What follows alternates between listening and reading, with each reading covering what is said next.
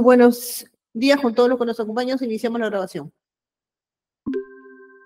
Buenos días, siendo las nueve de la mañana, con cuatro minutos del día 27 de agosto del año 2024, el segundo colegiado nacional de la Corte Superior de Justicia Penal Especializada, integrada por el doctor Richard Quispe Vilcapoma, la doctora Inés Contreras, quienes habla, Saida Catalina Pérez Escalante, presidente de este colegiado, constituidos por este aplicativo de Google Meet con todos los sujetos procesales y de manera presencial el colegiado en pleno en la sala de audiencias de la sede GNB de la Corte Superior Nacional, conjuntamente con la Fiscalía especializada para este caso. Eh, vamos a preguntarle al señor especialista de audio sobre la acreditación de las partes. Señorita Presidenta, muy buenos días, muy buenos días con los sujetos procesales para darle cuenta que se hizo la acreditación correspondiente antes de iniciar la grabación, estando ausente el señor José Fernando Castillo Divos, quien su defensa técnica lo está representando.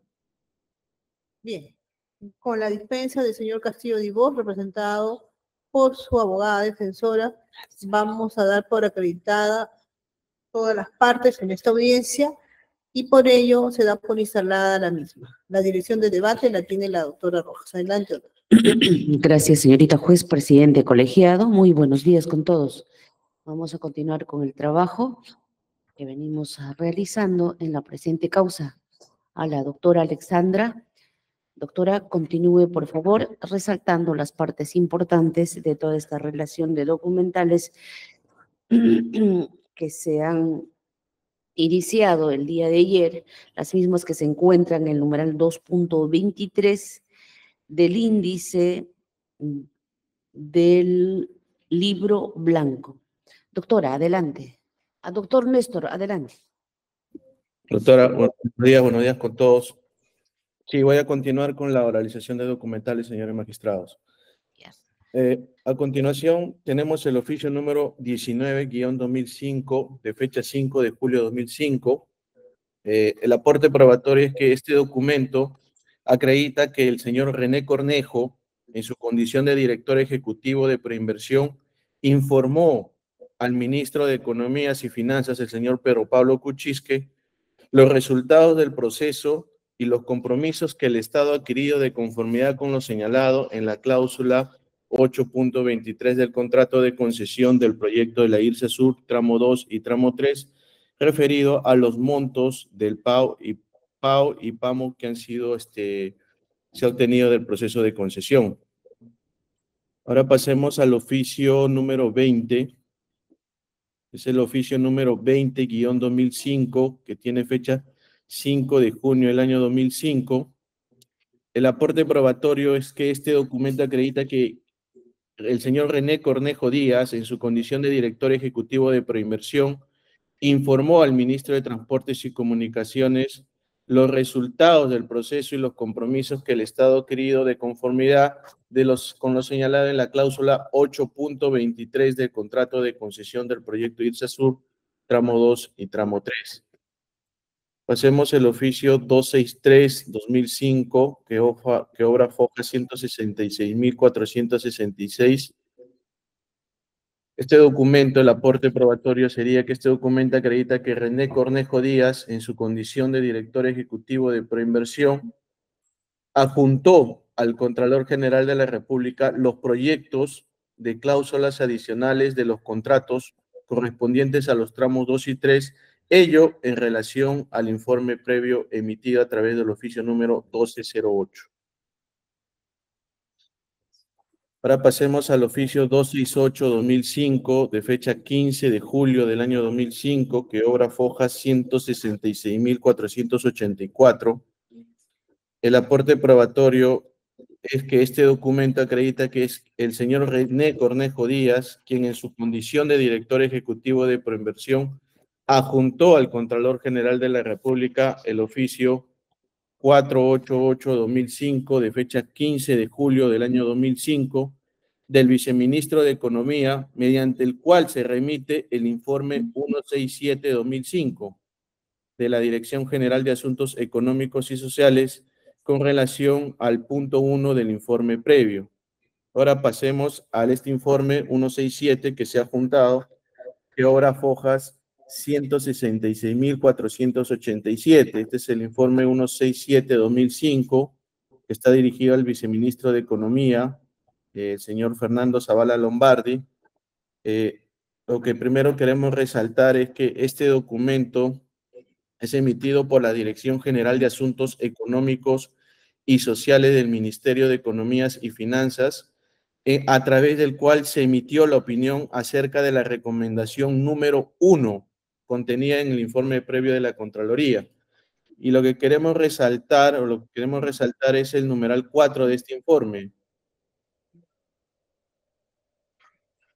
El numeral 4 de este informe, de lo señalado y sustentado en el numeral 4 de este informe, señores magistrados, se acredita que las cláusulas adicionales respecto a la primera recomendación mejoran la posición del Estado, disminuyendo sus riesgos en el contrato de concesión en caso el concesionario decida ceder su posición contractual. Y esto por cuanto que se ha aumentado los costos de salida del concesionario original, se ha establecido dificultades en, la salida del concesionario original y la modificación en la estructura de las garantías de, fiel, las garantías de fiel cumplimiento hacen que el riesgo eh, de, no, eh, de no encontrar un nuevo concesionario disminuya sustancialmente. Ahora pasemos al tomo 334. Sí, de este tomo 334, en primer lugar, queremos resaltar este oficio, el, el 275-2005, que tiene fecha 25 de julio del año 2005. Eh, este documento, eh, el aporte sería que acredita que es el señor René Cornejo Díaz, quien en su condición de director ejecutivo de Proinversión adjuntó al Contralor de la República la siguiente documentación. El oficio número 255 o CITRAN, por el cual remite el acuerdo del Consejo Directivo número 676 y también el informe técnico legal número 029-05 CITRAN, en virtud, en virtud de la cual se aprueban los proyectos de las cláusulas adicionales a los contratos de concesión. Pasemos al siguiente documento.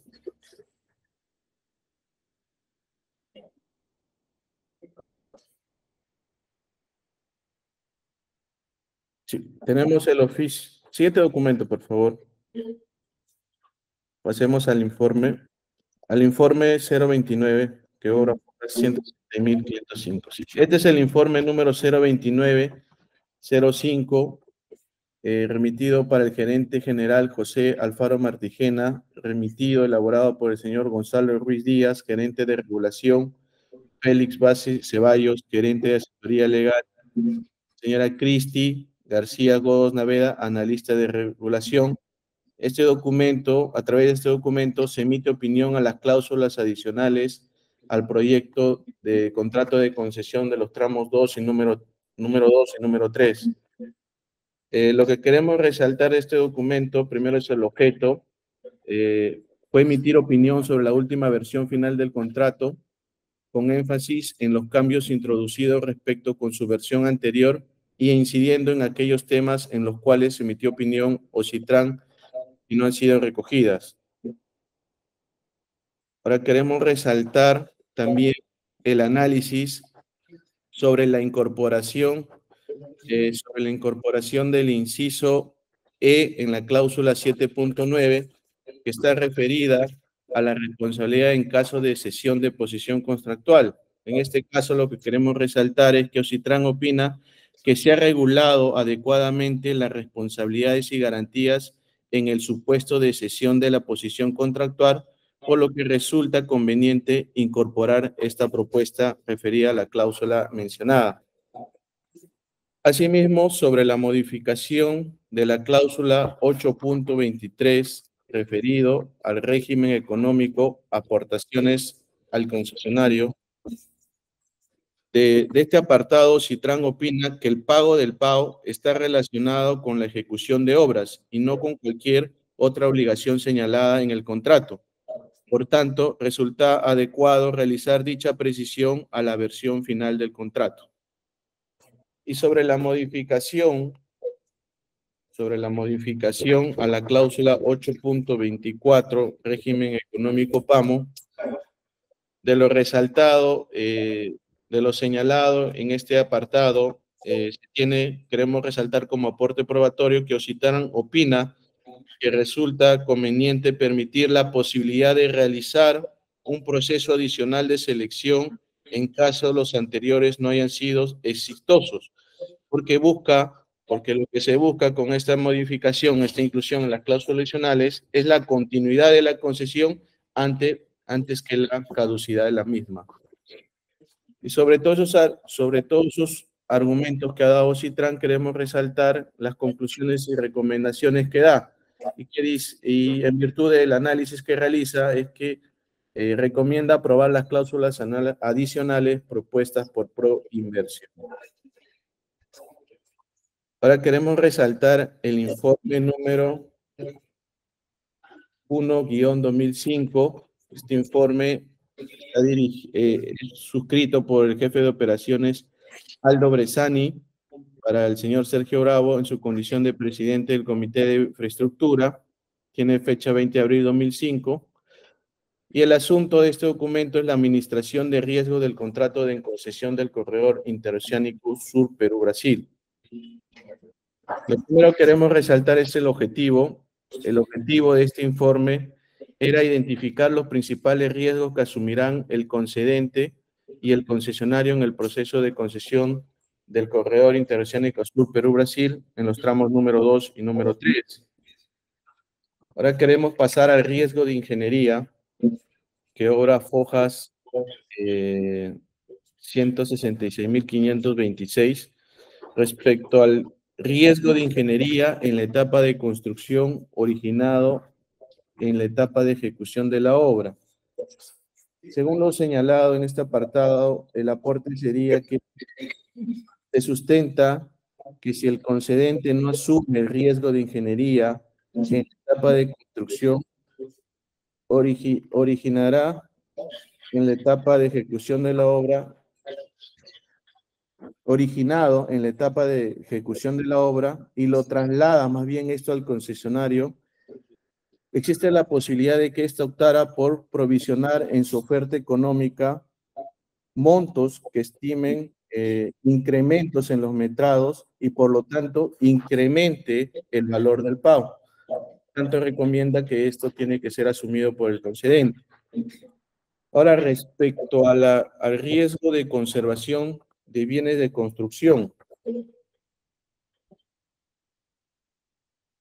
es obra Foja 166.527. Se sustenta en este informe que los riesgos eh, a la construcción son asumidos y cubiertos directamente por el concesionario a través de pólizas de seguro y da ejemplo las pólizas de seguro para bienes de construcción, de responsabilidad civil, de riesgo laboral. Y señala que si bien el costo de estos seguros es pagado por el concesionario, es trasladado al concedente a través del pago. Queremos pasar ahora al riesgo de terminación de la obra.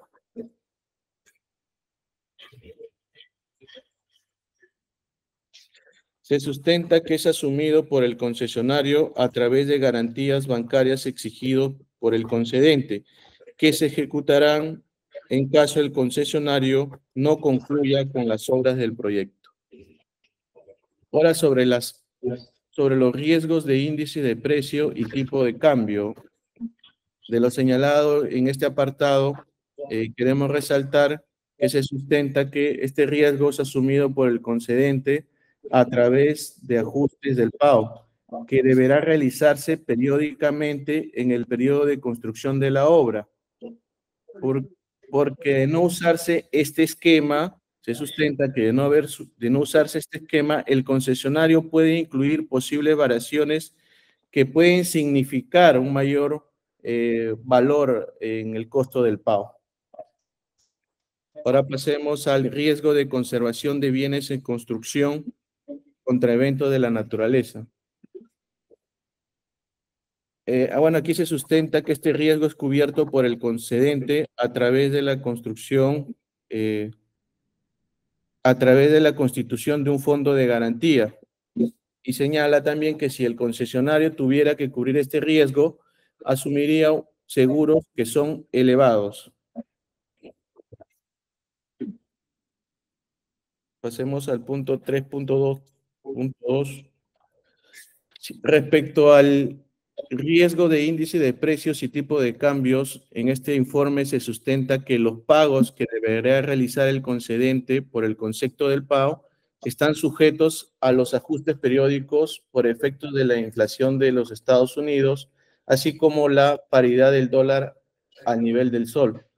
Estos ajustes, se sustenta que estos ajustes eh, van a conllevar a variaciones en el monto de pago que el concedente debe asumirlo. Y respecto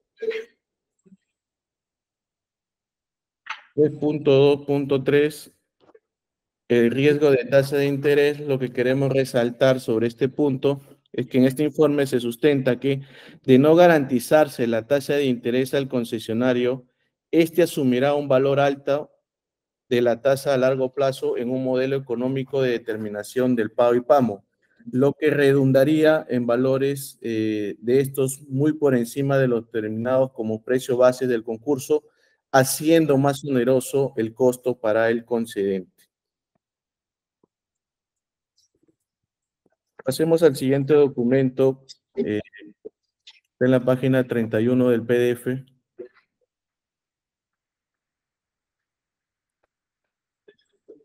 Sí, este es el oficio 278-2005, eh, eh, el aporte probatorio sería que este, este, el del contenido de este documento se evidencia que se puso en conocimiento de la Contraloría General de la República que el MEF había informado al Ministerio de Transportes y Comunicaciones los valores del PAO y PAMO del proceso de concesión de la IRSA Sur, tramo 2 y tramo 3.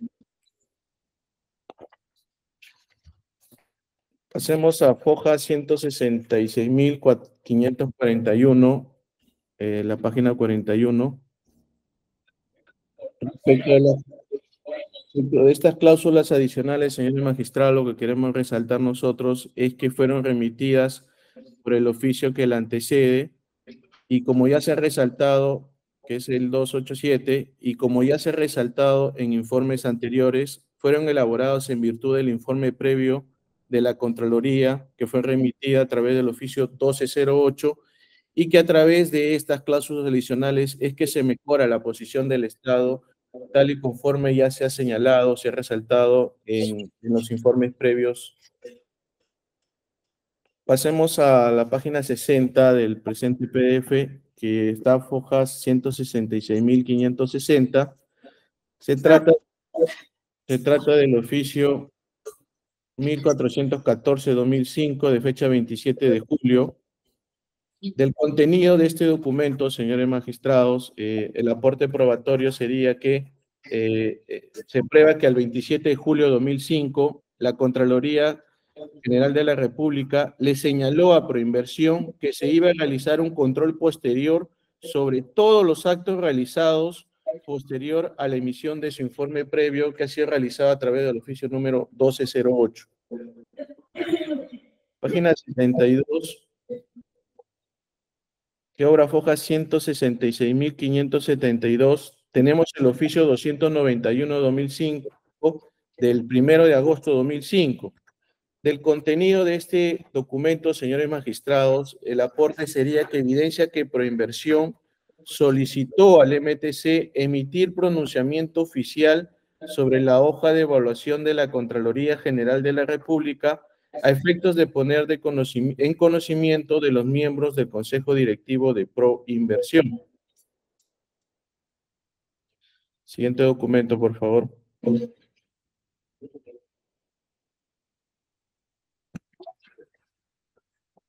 Página 99, por favor.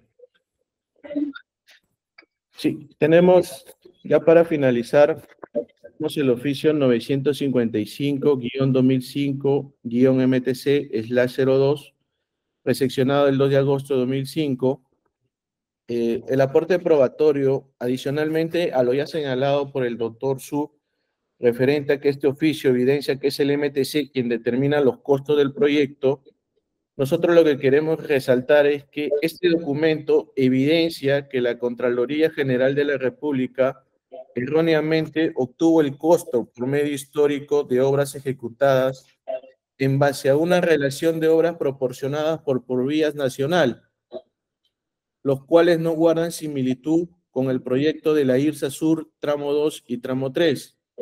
Y finalmente, este documento nos permite acreditar que el, el Ministerio de Transportes y Comunicaciones aclaró los comentarios realizados por la Contraloría General de la República. Eso es todo, señores magistrados. Muchas gracias. Gracias, doctor Néstor Burgos. El turno es del doctor Francisco Ugas, abogado del señor Pasco Fonquevedo. Adelante, doctor. Muchas gracias, señora magistrada. Eh, a efectos de no ser repetitivos, nos vamos a adherir a lo resaltado por el doctor Burgos, la doctora Centurión y el doctor Su, y sin perjuicio de ello, queremos eh, señalar cuál es el aporte probatorio de este bloque de documentales del punto 2.23.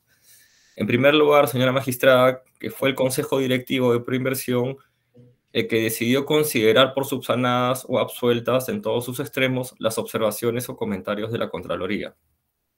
En segundo lugar, señora magistrada, que fue el Consejo Directivo el que instruyó al comité para que proceda con los actos de cierre del concurso. En tercer lugar, señora magistrada, que se acredita que con este bloque documental es que el Comité de Infraestructura se encontraba supeditado a las decisiones del Consejo Directivo. En cuarto lugar, señora magistrada, que eh, el director ejecutivo de Premersión, René Cornejo, fue quien elevó al Consejo Directivo el informe 01-2005, en el que se resumen las observaciones de la Contraloría y la documentación presentada por el MTC y Proinversión. Asimismo, señora magistrada, que ese informe elevado por el, por el director ejecutivo señala que la Contraloría eh, ha indicado que la documentación presentada y cualquier otra que se remita respecto al proyecto será tomada en consideración para las acciones de control posterior. Y finalmente, señora magistrada, que la opinión de Ocitran no tiene carácter vinculante, conforme se advierte el oficio 255-05 remitido por el gerente general de Ocitran al señor Sergio Bravo Arellana. Eso es todo, señora magistrada. Muchas gracias. Bien, pasamos con la defensa del señor Castillo Divos. Doctora Gladys. Ningún comentario, señorita directora de debates. Gracias. Con la defensa de JJC. Ninguna observación, señorita magistrada. Gracias. Con la defensa de las empresas Odebrecht. Muy buenos días, señorita magistrada. Ningún comentario por nuestra parte. Gracias. Gracias. Y terminamos con la defensa del, de la asociación procesal del señor Barclay Méndez. Ningún comentario, señorita magistrada. Gracias. Bien, doctores. Bien, hemos terminado todo este rubro de oficios que han ido circulando después del informe previo. Pasamos al 2.24, que está referido a las cláusulas adicionales al contrato de concesión. Doctora, adelante, Fiscalía. Eh, muchas gracias, señora magistrada. Ante todo, buenos días. Eh, Luz Flores Tarapaz acredita por el primer despacho del equipo especial. A continuación, señora magistrada, eh, tenemos el bloque 2.24, que consiste en las cláusulas adicionales al contrato de concesión. Como se puede apreciar, señora magistrada, este bloque de documentos inclusive tiene al 2.24.1 es decir, engloba a las modificaciones a las cláusulas adicionales. Eh, sin embargo, señora magistrada, para hacer este un poco más digerible este bloque documentario, lo vamos a dividir de esta manera. Vamos a iniciar con el 2, con el punto 2.24, cláusulas adicionales al contrato de concesión, que va desde el tomo 334 folio 166.609. Ya, un momentito. Vamos.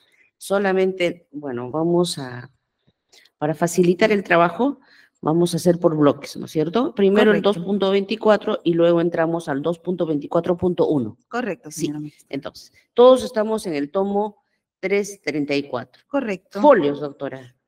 166.609 ¿Ya? a folio 166.663. 63. 63. Sí, ya va sí, señora magistrada. Ahora, señora magistrada, antes de continuar eh, con este bagaje de documentos, eh, señora magistrada, queremos señalar que estas cláusulas adicionales al contrato de concesión se dan a raíz de las recomendaciones y observaciones que formula la Contraloría General de la República a través de su oficio número 1208-2005 del 23 de junio del mismo año. Este bloque documentario, señora magistrada, el Ministerio Público se va a desistir del oficio número 260-2005 del 12 de julio del 2005. Es el primer documento que aparece. ¿Del 260? Sí, ¿Y cuál es el oficio motivo? 260-2005, porque corresponde al tramo 4. Va referido al tramo 4, no es pertinente para este tramo, para los tramos 2 y 3 que estamos analizando. Luego, señora magistrada, más adelante también el Ministerio Público se desiste de las cláusulas adicionales al contrato de concesión para la construcción, conservación y explotación del tramo vial del proyecto Corredor Vial Interoceánico Sur Perú Brasil, tramos 2, 3 y 4, tramo 4.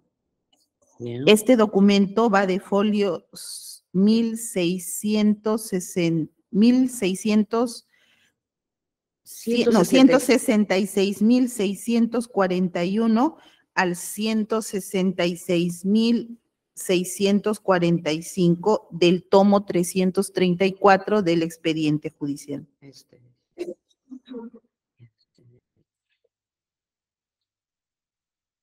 En tal sentido, señora magistrada, eh, esperamos a su resolución para... Ya, ¿Algo de estos documentos ya han sido actuados? Eh, sí, señora ¿Cuáles, magistrada, doctora? tenemos este que ha sido actuado el, si me permite. Tenemos el oficio número 1208-2005, Ah, claro. sí. el 488-2005, que adjunte el informe 167-2005, y tenemos al oficio 255-2005, que adjunte el informe 029-2005 de Ocitran.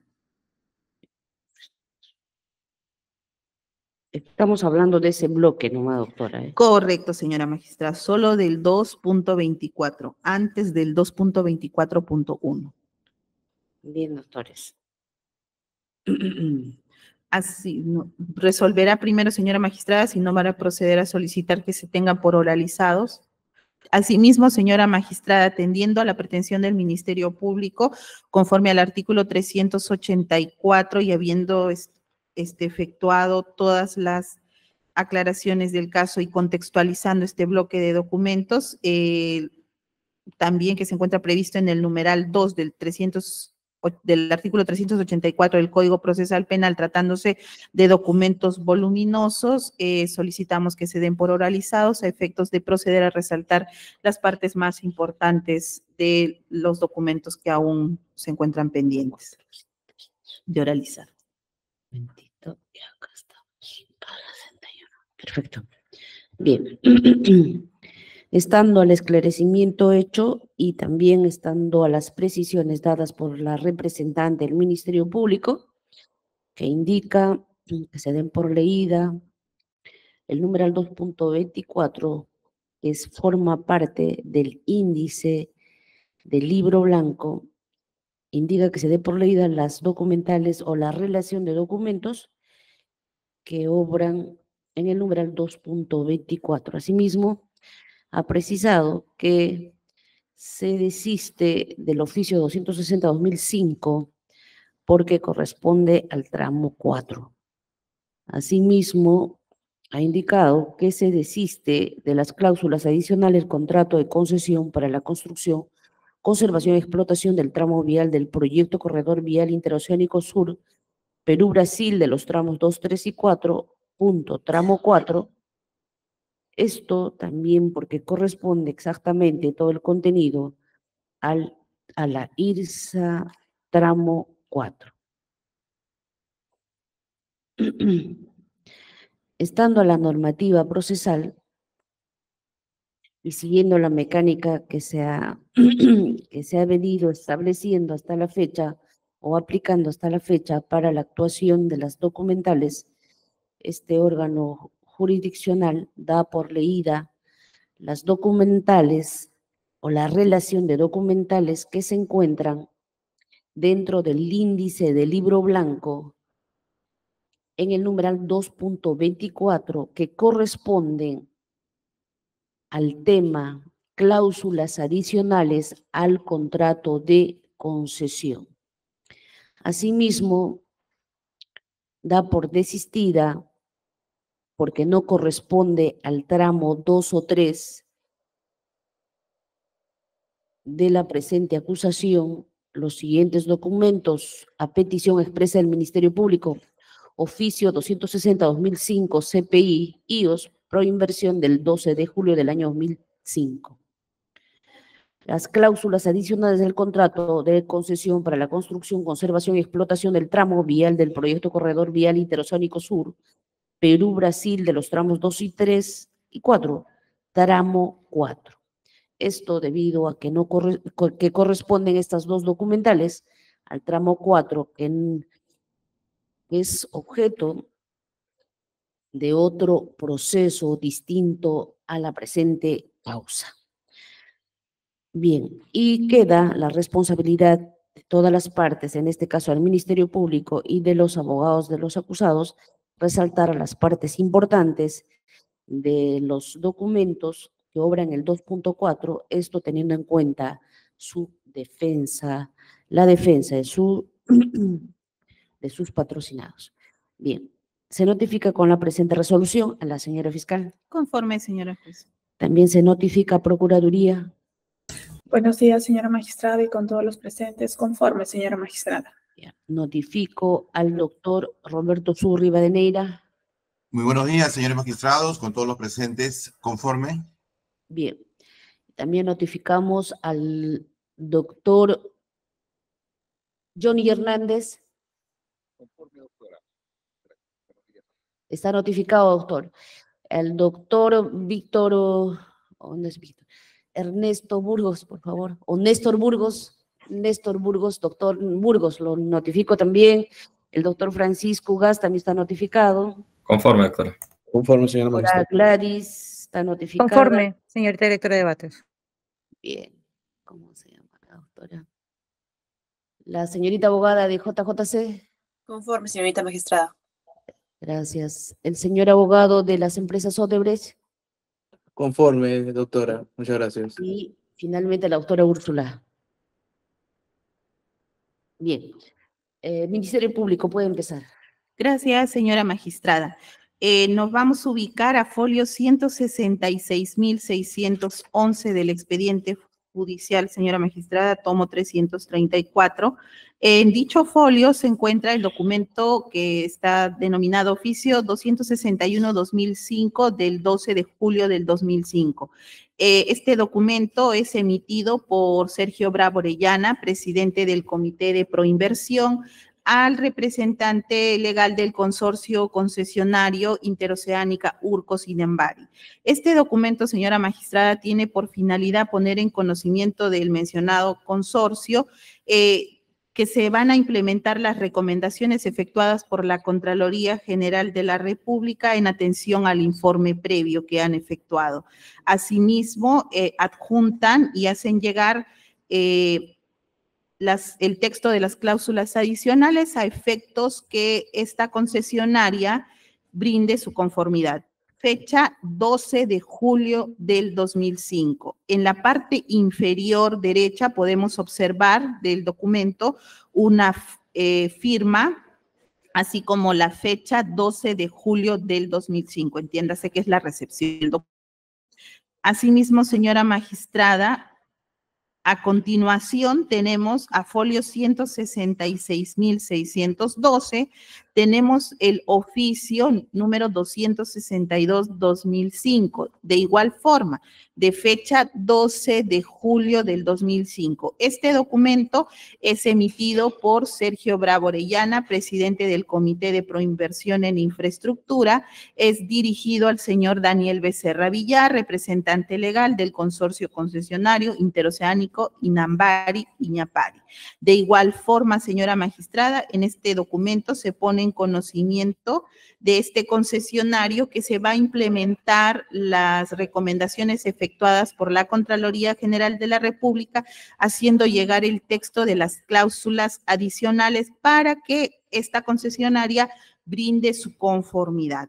Como se puede apreciar en la parte inferior derecha, tenemos una firma y fecha 12 de julio del 2005.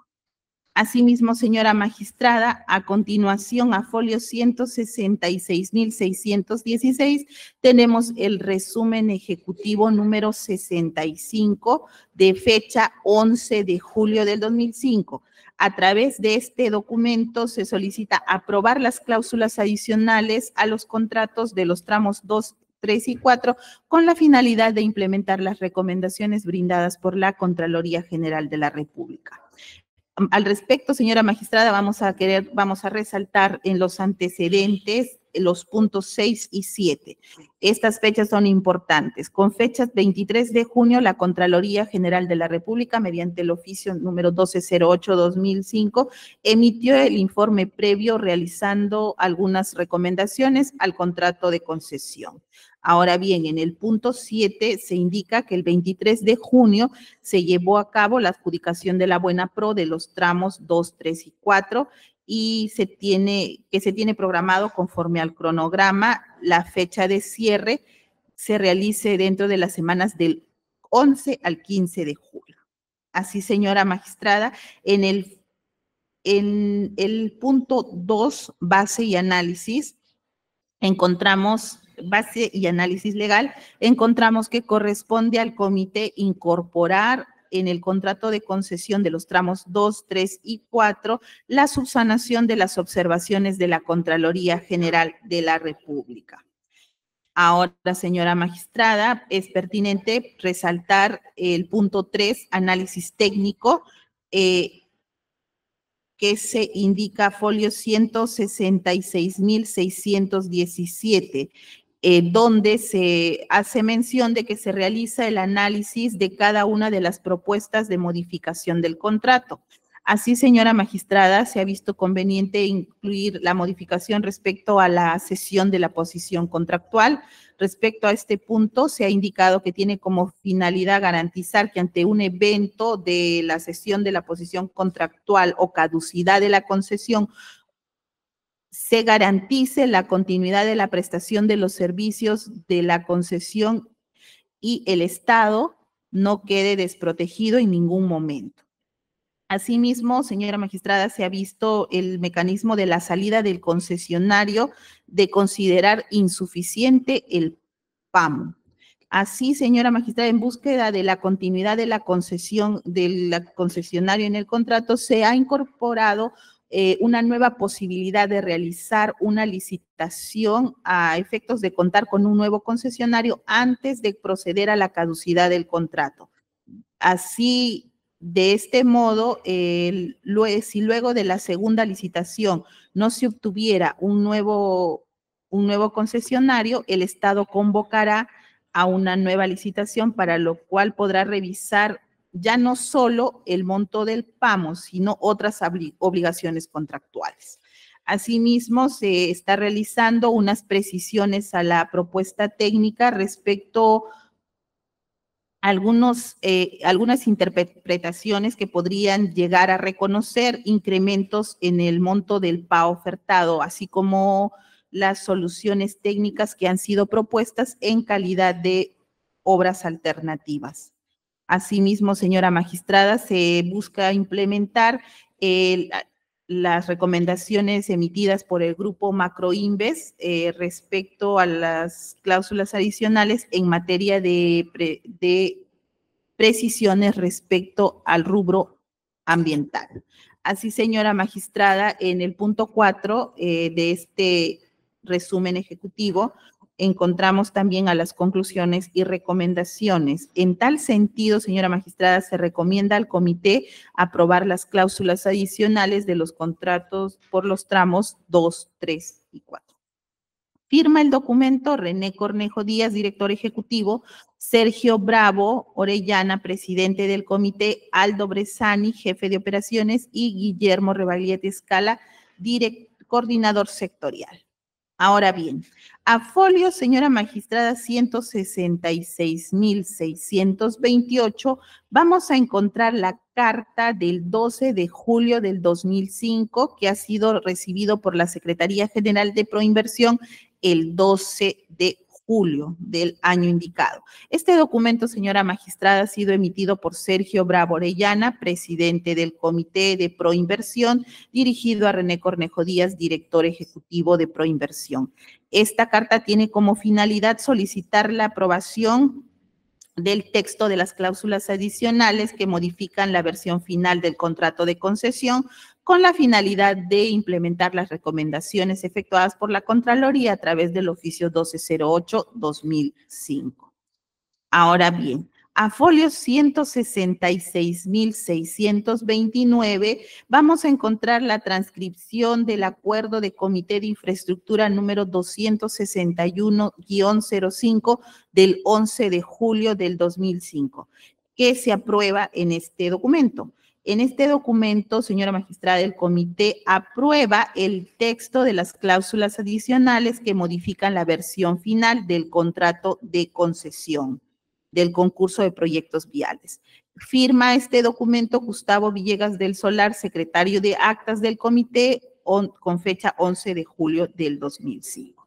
Asimismo, señora magistrada, folio 166.630, tenemos el proyecto de las cláusulas adicionales al contrato de concesión.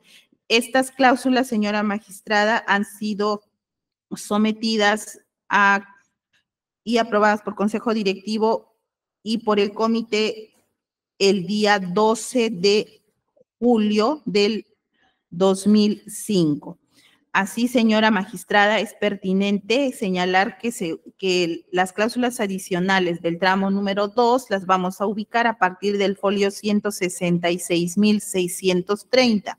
Para el Ministerio Público, señora magistrada, resulta pertinente resaltar eh, la cláusula primera respecto a los antecedentes,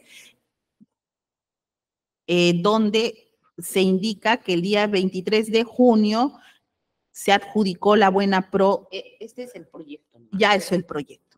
es el proyecto de las cláusulas adicionales. Sí, sí se indicó, señora magistrada, que era el proyecto de las cláusulas adicionales aprobado el 12 de julio. Sí, sí, este de acá solamente cuenta con los vistos buenos de determinados funcionarios que han contribuido en su, en su redacción, elaboración y aprobación. Eh, así, señora magistrada, en la primera cláusula vamos a ubicar los antecedentes. Eh, se ha señalado que con fecha 23 de junio, el Comité de Proinversión en Proyectos de Infraestructura ha procedido a efectuar la, adjudicación de la Buena Pro.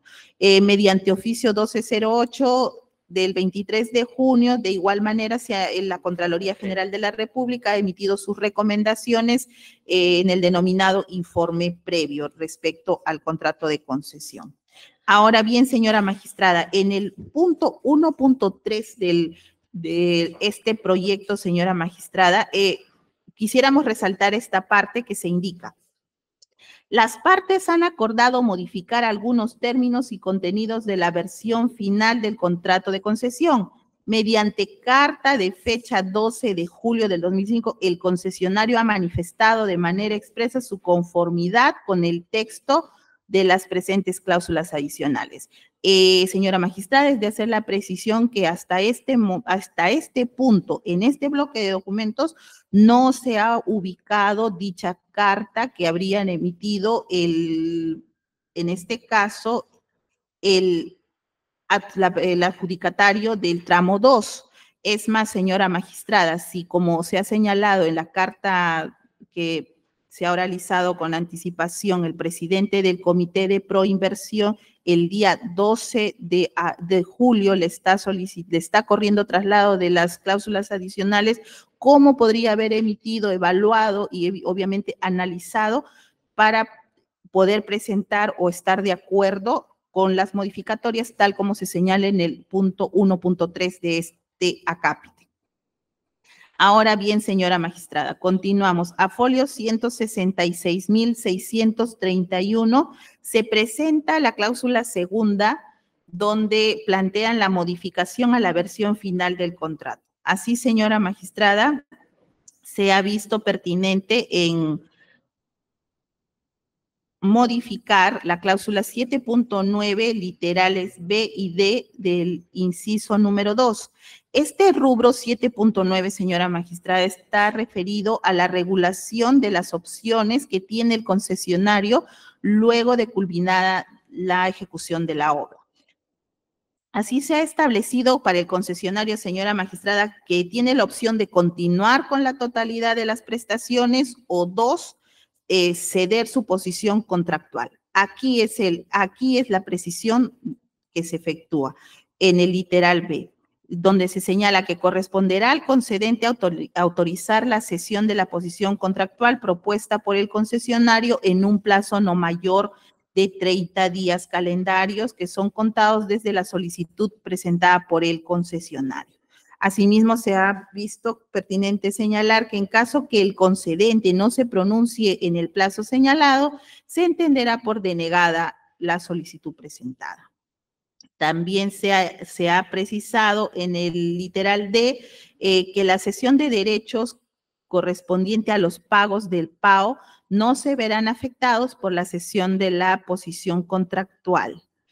Eh, continuamos, señora magistrada. También se ha visto por conveniente efectuar una cláusula adicional respecto a la cláusula 7.9, inciso 3, de la responsabilidad en caso de la cesión de la posición contractual donde se ha indicado que de efectuarse la cesión de la posición contractual del concesionario como consecuencia de la alternativa prevista en el inciso 2 de esta cláusula, el concesionario, es decir, el cedente, entiéndase de la posición contractual, quedará liberado de la responsabilidad salvo por las obras ejecutadas hasta por un plazo de siete años, pudiendo ser extendido dicho plazo hasta diez años, para cuyo fin deberá presentar el concedente una garantía por un equivalente de dos millones ochocientos mil dólares para garantizar la correcta ejecución de las obras ejecutadas por, un por el concesionario en los plazos indicados. Asimismo, señora magistrada, respecto al ingreso de un nuevo concesionario, se señala que asumirá la responsabilidad derivada del presente contrato y deberá entregar al concedente una garantía en la suma de un millón quinientos mil dólares. Asimismo, esta garantía permanecerá vigente hasta el término de siete o diez años, según corresponda, y al vencimiento de dicho plazo, la garantía deberá ascender a tres millones quinientos mil dólares. Continuamos, señora magistrada, folio 166.632. Vamos a encontrar la cláusula 8.23, inciso 1 y literal D. Esta cláusula, señora magistrada 8.23, está referida al régimen económico procedimiento para el pago anual por obras, PAO.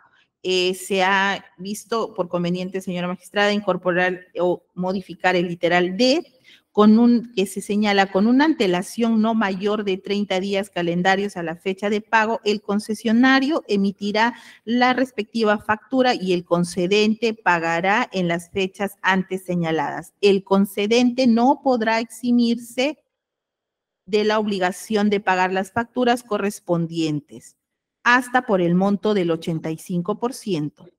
Hasta el 15% restante le será retenido si el regulador con- considerase que el concesionario a la fecha en que le corresponda percibir los pagos no haya cumplido con la correcta ejecución de las obras. Ahora vamos a pasar a la cláusula adicional referida a la cláusula 8.24.a literal E. Esta cláusula se encuentra dentro del régimen económico que corresponde al procedimiento para el pago anual por mantenimiento de obra. Eh, respecto al literal E, donde se ha ubicado la cláusula adicional, tenemos que el concesionario podrá solicitar al concedente con una anticipación no menor de un año a la fecha de la explotación de obras una primera revisión del PAMO en caso considere que dicho monto no resultara suficiente para dar cumplimiento a las obligaciones establecidas en el contrato. Así, el concedente deberá proceder a convocar en el más breve plazo a un concurso de licita o licitación pública, el cual tomará el importe del pago con la finalidad de obtener un nuevo concesionario que tome a su cargo la presente concesión. Continuando, señora magistrada, a folio 166.633, eh, vamos a resaltar también el, el segundo, el primer, segundo párrafo, si por el contrario señala el concurso o licitación fuere declarado desierto por falta de propuesta válida, el concedente convocará a un nuevo concurso o licitación, el cual tomará como base el presupuesto reajustado por el concedente.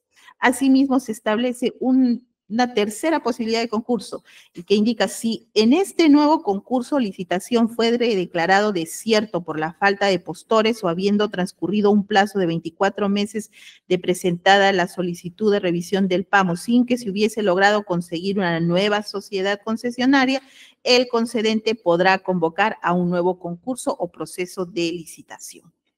Asimismo, señora magistrada, también se efectúan eh, en la cláusula tercera unas precisiones respecto a la propuesta técnica del concesionario, eh, que lo vamos a ubicar en el 3.1.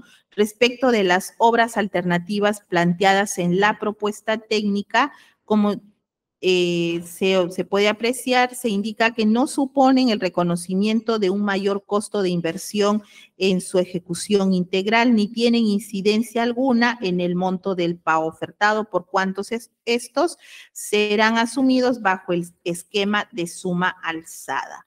Eh, señora magistrada, en todos los folios de este proyecto, tenemos, señora magistrada, que los vistos de Sergio Bravo Orellana, presidente del Comité de Infraestructura, Guillermo Rebaglieti Escala, coordinador técnico sectorial, y Miguel Sánchez Moreno Cisneros, asesor legal. Ahora, señora magistrada, eh, de igual manera, a folio 166.636 tenemos las cláusulas adicionales correspondientes al tramo 3. Eh, vamos a resaltar, señora magistrada, eh, respecto a la cláusula segunda, modificación a la versión final del contrato, que obra folio 166.636 vamos a ubicarnos en la cláusula 7.9, inciso 3, numeral 3, responsabilidad en caso de la cesión de posición contractual. Eh, al respecto, señora magistrada, quiero hacer una, precisión. Eh, las cláusulas del tramo número 3 son similares a las del tramo número 2, lo que varía en su, en su estructura únicamente son los montos de que se está este, ofreciendo como garantía para el concedente en este rubro que va a ser de 2 millones 800 mil dólares. Asimismo, de igual forma, en el último párrafo del folio indicado tenemos cuando el nuevo concesionario asumirá la responsabilidad derivada del presente contrato, va a asumir una garantía de un millón ochocientos mil dólares.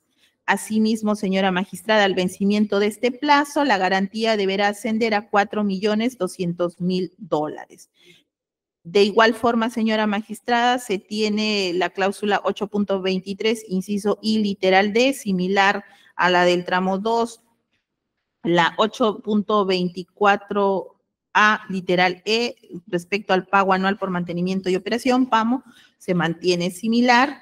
Asimismo, señora magistrada, vamos a pasar al rubro, a la cláusula tercera respecto a precisiones respecto a la propuesta técnica, que obra folio 166.638 y 166.000 639. Al respecto, señora magistrada, como ya se ha señalado eh, en, la, en el tramo número 2, el cual se comparte con el tramo número 3 en cuanto al 3.1, que las obras alternativas planteadas en la propuesta técnica no suponen el reconocimiento de un costo de inversión mayor en su ejecución integral. Sin embargo, señora magistrada, adicionan ciertas precisiones incorporando las, eh, los numerales 2, 3.2 respecto a que la solución propuesta para el tratamiento integral del pavimento asfáltico está diseñada para un periodo de 10 años y los requerimientos para ello. Asimismo, en el folio, en el, perdón, en el numeral 3.3 también se indica que si se produjera la caducidad de la concesión como consecuencia de lo estipulado o por cualquier otra causa, el concedente procederá a retener el monto del pago. Luego, señora magistrada, eh, se incorpora también el numeral 3.4 respecto a las alícuotas eh, que resultarán del cociente entre el valor de las actividades de reforzamiento establecido en la propuesta técnica del concesionario, así como el numeral 3.5 respecto a las actividades de reforzamiento antes señaladas serán ejecutadas con cargo al monto de las alícuotas acumuladas en el fideicomiso de administración de pagos.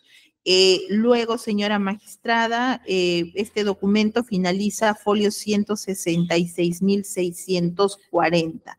Es pertinente resaltar que respecto a este primer proyecto de cláusulas adicionales del tramo 3, eh, todas las hojas tienen el visto de Sergio Bravo Orellana, presidente del Comité de Infraestructura, Guillermo Rebagliati Escala, coordinador técnico sectorial, así como Miguel Sánchez Moreno Cisneros, asesor legal del comité. Ahora bien, señora magistrada, como se había indicado, a continuación tenemos el oficio 1208-2005, el cual ya ha sido oralizado. De igual manera, el oficio 488-2005 de folio 166.651, de igual forma, ha sido oralizado en la sesión del día de ayer. Y continuamos, señora magistrada. Queremos resaltar el documento que a continuación obra a folio 166.655. Este es un documento muy importante, señora magistrada. Este es el oficio 274-2005 CPI-IOS slash proinversión. Eh, señora magistrada, este documento tiene fecha 22 de julio del 2005, viernes 22 de julio del 2005.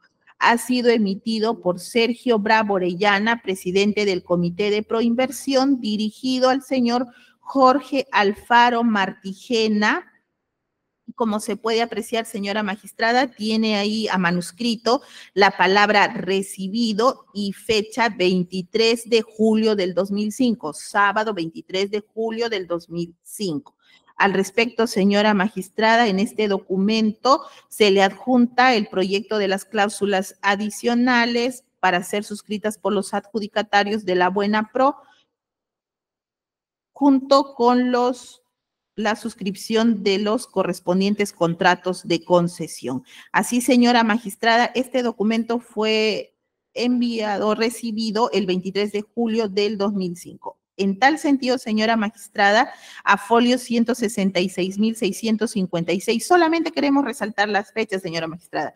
Tenemos el oficio 255-2005, Lima, 25 de julio del 2005, donde se adjunta eh, la sesión número 179 del Consejo Directivo de OCITRAN y también el informe legal 029-2005 que contiene la opinión técnica sobre el proyecto de las cláusulas adicionales. Al contrato, reiterando a Proinversión que en beneficio de la transparencia y de las buenas prácticas regulatorias mantenga plazos razonables en sus pedidos de opinión técnica a OCITRAN, firma Jorge Alfaro Martigena, gerente general, y dirige el documento a Sergio Bravo Orellana, presidente del Comité de Proinversión. Es decir, señora magistrada, el documento fue ingresado de solicitud, fue ingresado a, Ocitran un día viernes y el día lunes ya se tenía la respuesta. Así, señora magistrada, folio 166.658, tenemos el informe número 29-2005. Este documento, señora magistrada, ha sido emitido por Gonzalo Ruiz Díaz, gerente de regulación, Félix Basi Ceballos, gerente de asesoría legal, Cristi García Godos, Neveda, analista de regulación, para Jorge Alfaro Martijena. Este documento, señora magistrada, tiene fecha 23 de julio del 2005 y solamente queremos resaltar en, esta oportunidad eh, que el folio que obra 166.660. Punto 17, donde se indica que es importante señalar que dicho análisis se encuentra limitado por el, por el corto tiempo conferido por Proinversión para emitir la presente opinión. En efecto, el texto de las cláusulas adicionales fue recibido por Ocitran el 23 de julio del año en curso. Firman los arriba mencionados y señora magistrada, dicho documento una vez recibido fue enviado una vez recibido por Proinversión, fue enviado inmediatamente a la Contraloría General de la República a través del oficio número 275-2005 que ha sido realizado en la sesión anterior. Ahora bien, señora magistrada, el Ministerio Público quiere resaltar como aporte, señora magistrada, eh, que la celeridad, señora magistrada, en el requerimiento para la aprobación de estas cláusulas adicionales, tanto a los concesionarios, así como a las entidades que debían brindar los informes como OCITRAN, que como se puede apreciar, señora magistrada, inclusive ha emitido un informe un día sábado a efectos de dar cumplimiento a lo solicitado por el por Sergio Bravo Orellana, presidente del Comité de Proinversión. Y señora magistrada, lo que es pertinente resaltar que esta primera esta primera cláusula, esta primera cláusulas adicionales, señora magistrada, se dieron el 12 de julio del 2005. Eso sería el aporte de parte del Ministerio Público, señora magistrada. Gracias. Señorita fiscal. Bien, Procuraduría. Sí, señora magistrada. Esta Procuraduría eh, se va a adherir a todo el contenido realizado por el Ministerio Público, sin embargo, queremos resaltar algunos documentos adicionales. Si me permite proyectar, por favor. Adelante, doctora. Gracias. Bien, señora magistrada, nos ubicamos en el tomo 334 a folio 166, 166.611, en el que obra el oficio 261-2005 de fecha 12 de julio del 2005. Es un oficio dirigido al consorcio concesionario interoceánico Urco Sinambari y lo remite el señor Sergio Bravo Orellana con fecha 12 de julio. En el siguiente folio, señora magistrada, tenemos el oficio 262 2005. En este caso está remitido al Consorcio Concesionario Interoceánico Inambari Ñapari del tramo 3 y lo suscribe de igual forma el señor Sergio Bravo Orellana.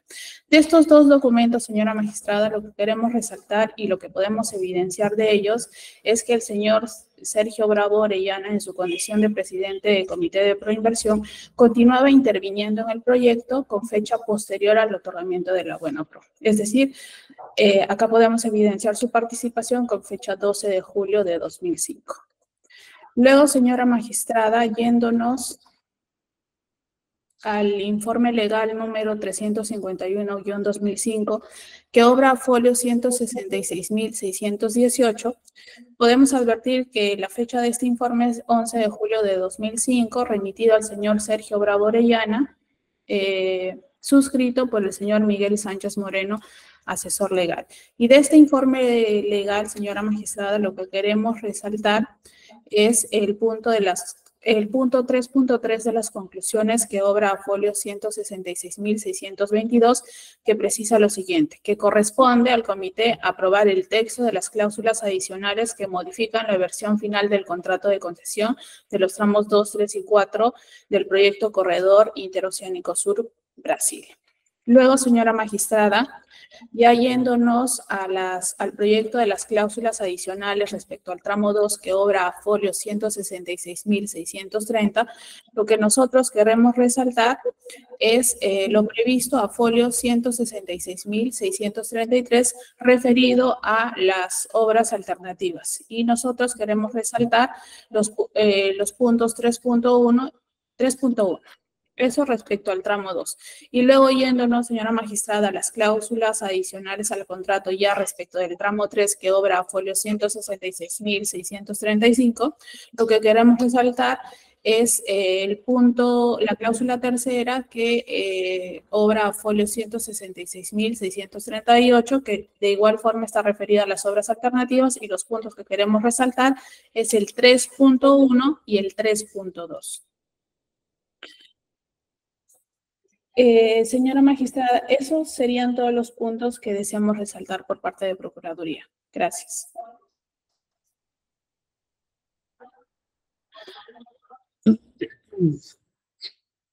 Bien. Eh, la defensa del señor Alejandro Toledo Manrique, doctor Roberto Sur Rivadeneira. Muchas gracias, señora magistrada. Me permite, por favor, eh, compartir. Adelante, doctor. Gracias.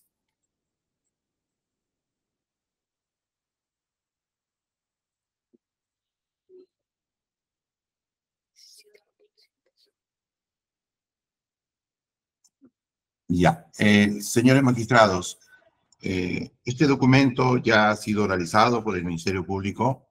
Es el oficio 261, slide 2005 de Proinversión, que obra foja 166.611, firmado por el señor Sergio Bravo Orellana, dirigido al señor Daniel Becerra Villar, representante legal del consorcio concesionario interoceánico Urco Sinambara.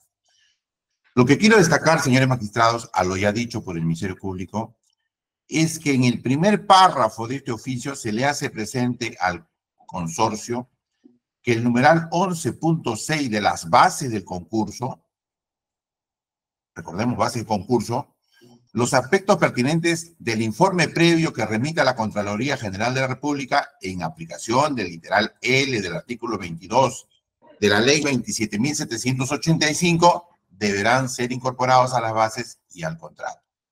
Es decir, las bases del concurso aprobadas el 14 y 18 de enero del año 2005 preveían en el numeral 11.6 que el informe previo de la Contraloría tenía que incorporarse. Entonces, por esa base jurídica le dicen al consorcio, aquí te envío la propuesta y le piden su autorización. Y lo mismo ocurre en el segundo documento, que sería el tercero porque el primero era el tramo 4. Este documento dirigido también al señor Becerra Villar, oficio 262, obra Fojas 166.612, para el tramo 3, le dice lo mismo, que de acuerdo al numeral 11.6 de las bases, el informe previo de la Contraloría tenía que incorporarse a las bases y al contrato, y le envían el documento para su conformidad con un texto adjunto. Entonces, es importante tener en cuenta entonces que las bases del concurso ya establecían una situación posterior como la que se está eh, explicando. Asimismo, señores magistrados, este resumen ejecutivo 65-2005, de fecha 11 de julio del año 2005, fue obra foja 166.616, parece un poco, ¿sí? Dice aprobar las cláusulas adicionales a los contratos de los tramos 2, 3 y 4 con la finalidad de implementar las recomendaciones de la Contraloría General de la República. Eso dice como tema.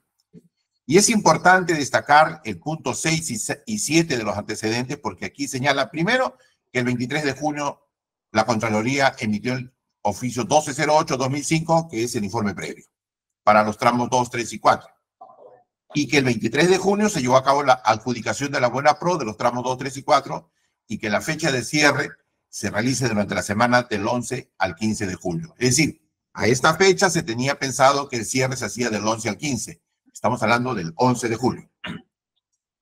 También la base legal de este informe hace referencia que corresponde al Comité de Proinversión en Proyectos de Infraestructura y Servicios Públicos conducir el proceso de concurso de proyectos integrales y de conformidad con el numeral 11.6 de la base del concurso, los aspectos pertinentes del informe previo que remita a la Contraloría General de la República en aplicación del literal L del artículo 22 de la ley 27785 deberán ser incorporados. Entonces, aquí está, digamos, una explicación, ¿no? Y este documento contiene varios aspectos eh, que ya han sido resaltados por el Ministerio Público. También queremos destacar que hubo un informe legal, número 351-2005, que obra foja 166.618, siempre del tomo 334, de la misma fecha, 11 de julio, dirigido a Sergio Bravo Orellana por Miguel Sánchez Moreno. Este informe legal eh, está firmado por el señor Miguel Sánchez Moreno, como se puede apreciar del folio 166.623, concluye y dice 3.1, las modificaciones al contrato a través de las cláusulas adicionales propuestas contribuyen a mejorar la posición del Estado en el contrato y no otorgan a, los adjudicatarios mayores beneficios o ventajas respecto de sus competidores. El texto de la cláusula adicional se encuentra arreglado a las disposiciones del TUO de concesiones y su reglamento aprobados por decretos supremos 059 y 060-96 PCM y 3.3 corresponde al comité aprobar el texto de las cláusulas adicionales que modifican la versión final del contrato de concesión de proyectos integrales y que corresponden, el numeral 3.4, al Consejo Directivo adoptar la decisión de aprobar el texto de las cláusulas adicionales. Entonces, este documento es importante. Y también queremos destacar, señores magistrados, quiero hacer presente, más que destacar, quiero hacer presente que esta versión que vemos en pantalla para el tramo 2, cláusulas adicionales al contrato de concesión, que obra Foja 166.630, no fue la última versión. Hubo otra. Y cuando se vea el contrato firmado ya con fecha 4 de agosto, veremos que la cláusula adicional ha sufrido algunas modificaciones, ¿no? Eh, sustanciales, ¿no? Que esta defensa eh, destaca, eh, por ejemplo, y es bueno tener esa información porque es un dato para ustedes, señores magistrados. Por ejemplo, la modificación final del contrato dice, segunda modificación final del contrato, en mérito del presente documento se acuerda modificar los literales B y D. La versión final agregó una F. Entonces, esta defensa sobre ese aspecto no va a hacer ningún, ningún comentario porque esto no es una versión final. Y cuando llegamos a la página 166.633, señores magistrados, donde aparece Tercera, precisiones respecto a la propuesta técnica del concesionario. Ahí se agregó una cláusula 12.1. Se modificó una cláusula 12.1 que no aparece. Y cuando termina la cláusula tercera y entramos a la cuarta, la cuarta no fue reglas de interpretación, sino fue precisiones respecto a los pasivos ambientales. Entonces, de tal manera que esta, eh, este proyecto de tramo 2 y tramo 3, esta defensa considera que no es eh, pertinente, comentarlo porque ha, sufrido modificaciones sustanciales. Finalmente, finalmente, eh, queremos destacar que a Fojas, a Fojas 166.655 aparece este oficio 274 de fecha 22 de julio del año 2005, donde el señor Sergio Bravo le pide al señor Jorge Alfaro Martigena una opinión técnica respecto al proyecto de cláusulas adicionales. Las cláusulas adicionales se le envía a OCITRAN para una opinión técnica. Los demás documentos, señores magistrados, este oficio de OCITRAN ya ha sido oralizado, obra foja 166.503. Todos los documentos estos ya han sido oralizados. El informe de 029 ha sido oralizado, obra fojas 166.505, así que es ocioso hacerles perder tiempo leyendo y oralizando. En todos estos hechos, el señor Alejandro Toledo no tiene participación y eso es lo que destaca también esta defensa. Muchas gracias. Gracias, doctor. La, eh, defensa del señor Abrandanón, doctor Ricardo.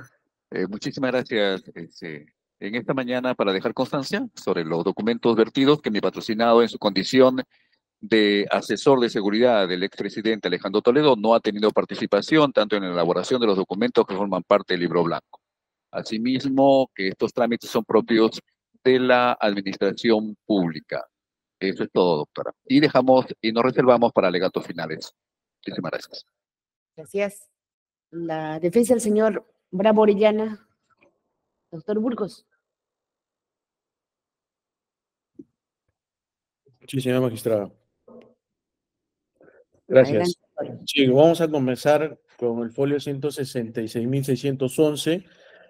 Eh, voy a hablar respecto de los dos oficios en sí, el oficio 261 y 262, que son remitidas, eh, ya, ya se ha resaltado que son remitidas por el señor Sergio Bravo Orellana, tanto al concesionario de, del tramo 2 como del tramo 3. Nosotros, en primer lugar, nos vamos a adherir a lo que ha señalado el doctor Roberto Su.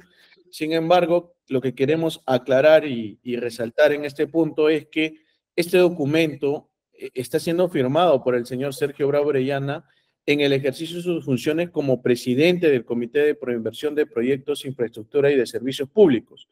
Y lo único que acredita este documento es que está pidiendo a los representantes legales de estas concesionarias que hagan llegar su conformidad a los proyectos de cláusulas adicionales, tanto del tramo 2 como del tramo 3. Ahora pasemos al folios eh, 166.614 tenemos el oficio número 449-2005. Lo que primero queremos resaltar de este oficio es que se encuentra firmado por el señor Jorge León Ballén, director ejecutivo adjunto de Proinversión, y está dirigido a Gustavo Villegas, Comité de Proinversión en Proyectos de Infraestructura.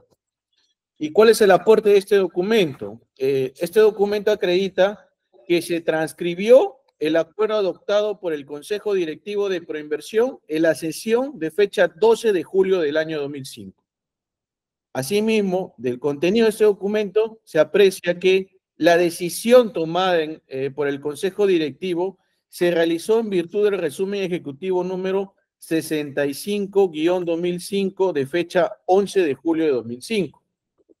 Ahora, respecto a las decisiones adoptadas por el Consejo Directivo de Proinversión, Respecto de la primera decisión, del contenido del primer acuerdo, se puede apreciar que el Consejo Directivo de Proinversión, de conformidad con lo establecido en el artículo 23 del TUO, aprobado por el Decreto Supremo 059-96, aprobó los textos de las cláusulas a los contratos de concesión correspondiente a los tramos 2 y tramo 3 del proyecto de la IRSA Sur. Y respecto de la segunda decisión adoptada por el Consejo Directivo, eh, se verifica que es el Consejo Directivo quien instruyó al Comité de Proinversión a incluir en las cláusulas adicionales las precisiones en materia de pasivos ambientales que recomiende la consultora Macroinvest. Entonces, de este documento, el aporte probatorio sería que se comprueba que es el Consejo Directivo de Proinversión quien tenía el poder de decisión definitivo respecto a los actos que se tomaban en el proceso de promoción de la IRSA Sur tramo 2 y tramo 3. Pasemos al resumen ejecutivo número 65, que obra a fojas 166.616. Eh, bueno, ya, ya se ha destacado las partes que este es un resumen ejecutivo para el Consejo Directivo de Proinversión. Y lo que queremos resaltar en base y análisis legal es el tercer y cuarto párrafo, donde se señala que corresponde al comité incorporar al contrato de concesión de los tramos 2 y 3 la subsanación a las observaciones de la Contraloría, pero lo resaltante y que no han señalado este, tanto la Fiscalía como la Procuraduría es que aquí se señala que los mismos deben someterse a consideración del Consejo Directivo. Asimismo, queremos resaltar que estas modificaciones que han sido propuestas a través de las cláusulas adicionales tienen como objeto establecer la posición del Estado conforme a las normas vigentes. Ahora, respecto del análisis técnico, señores magistrados, análisis técnico, sí, lo que quiero resaltar es el segundo párrafo. De este segundo párrafo eh, se desprende y se acredita que por disposición del Consejo Directivo en su sesión de fecha 30 de junio de 2005, es que se contrata los servicios del estudio de abogados Rodrigo Elías Medranos para que emita opinión legal sobre la naturaleza jurídica del contrato de concesión siendo que dicho estudio opinó que la eliminación del PAMO como factor de competencia ni los mecanismos de salida previstos en el contrato desnaturalizan la concesión ni podían generar incentivos perversos en las labores de mantenimiento. Asimismo, en, el siguiente, en este párrafo se señala que eh, se recoge los análisis del informe legal 351-2005-LG-MSM, siendo lo más importantes eh, la incorporación del inciso 3 de la cláusula 7.9.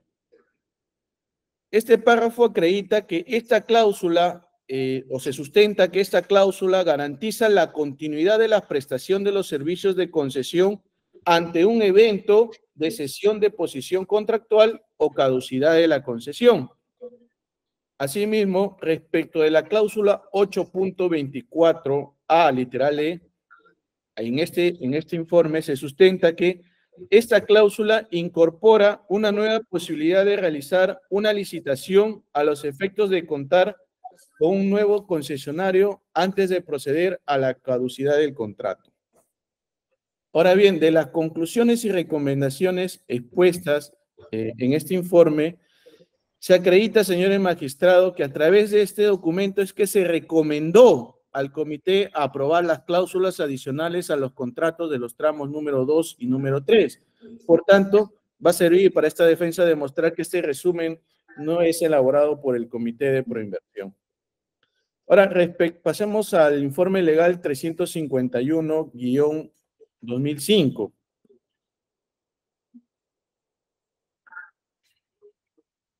Es el informe que está a folio 166.618. Bueno, ya, ya se han resaltado las partes pertinentes de este informe, señores magistrados. Nosotros lo que queremos señalar es que, y conforme a las conclusiones expuestas en este informe legal, es que acredita que la inclusión de estas cláusulas adicionales a la versión final del contrato tuvo respaldo en este informe emitido por el asesor legal de proinversión.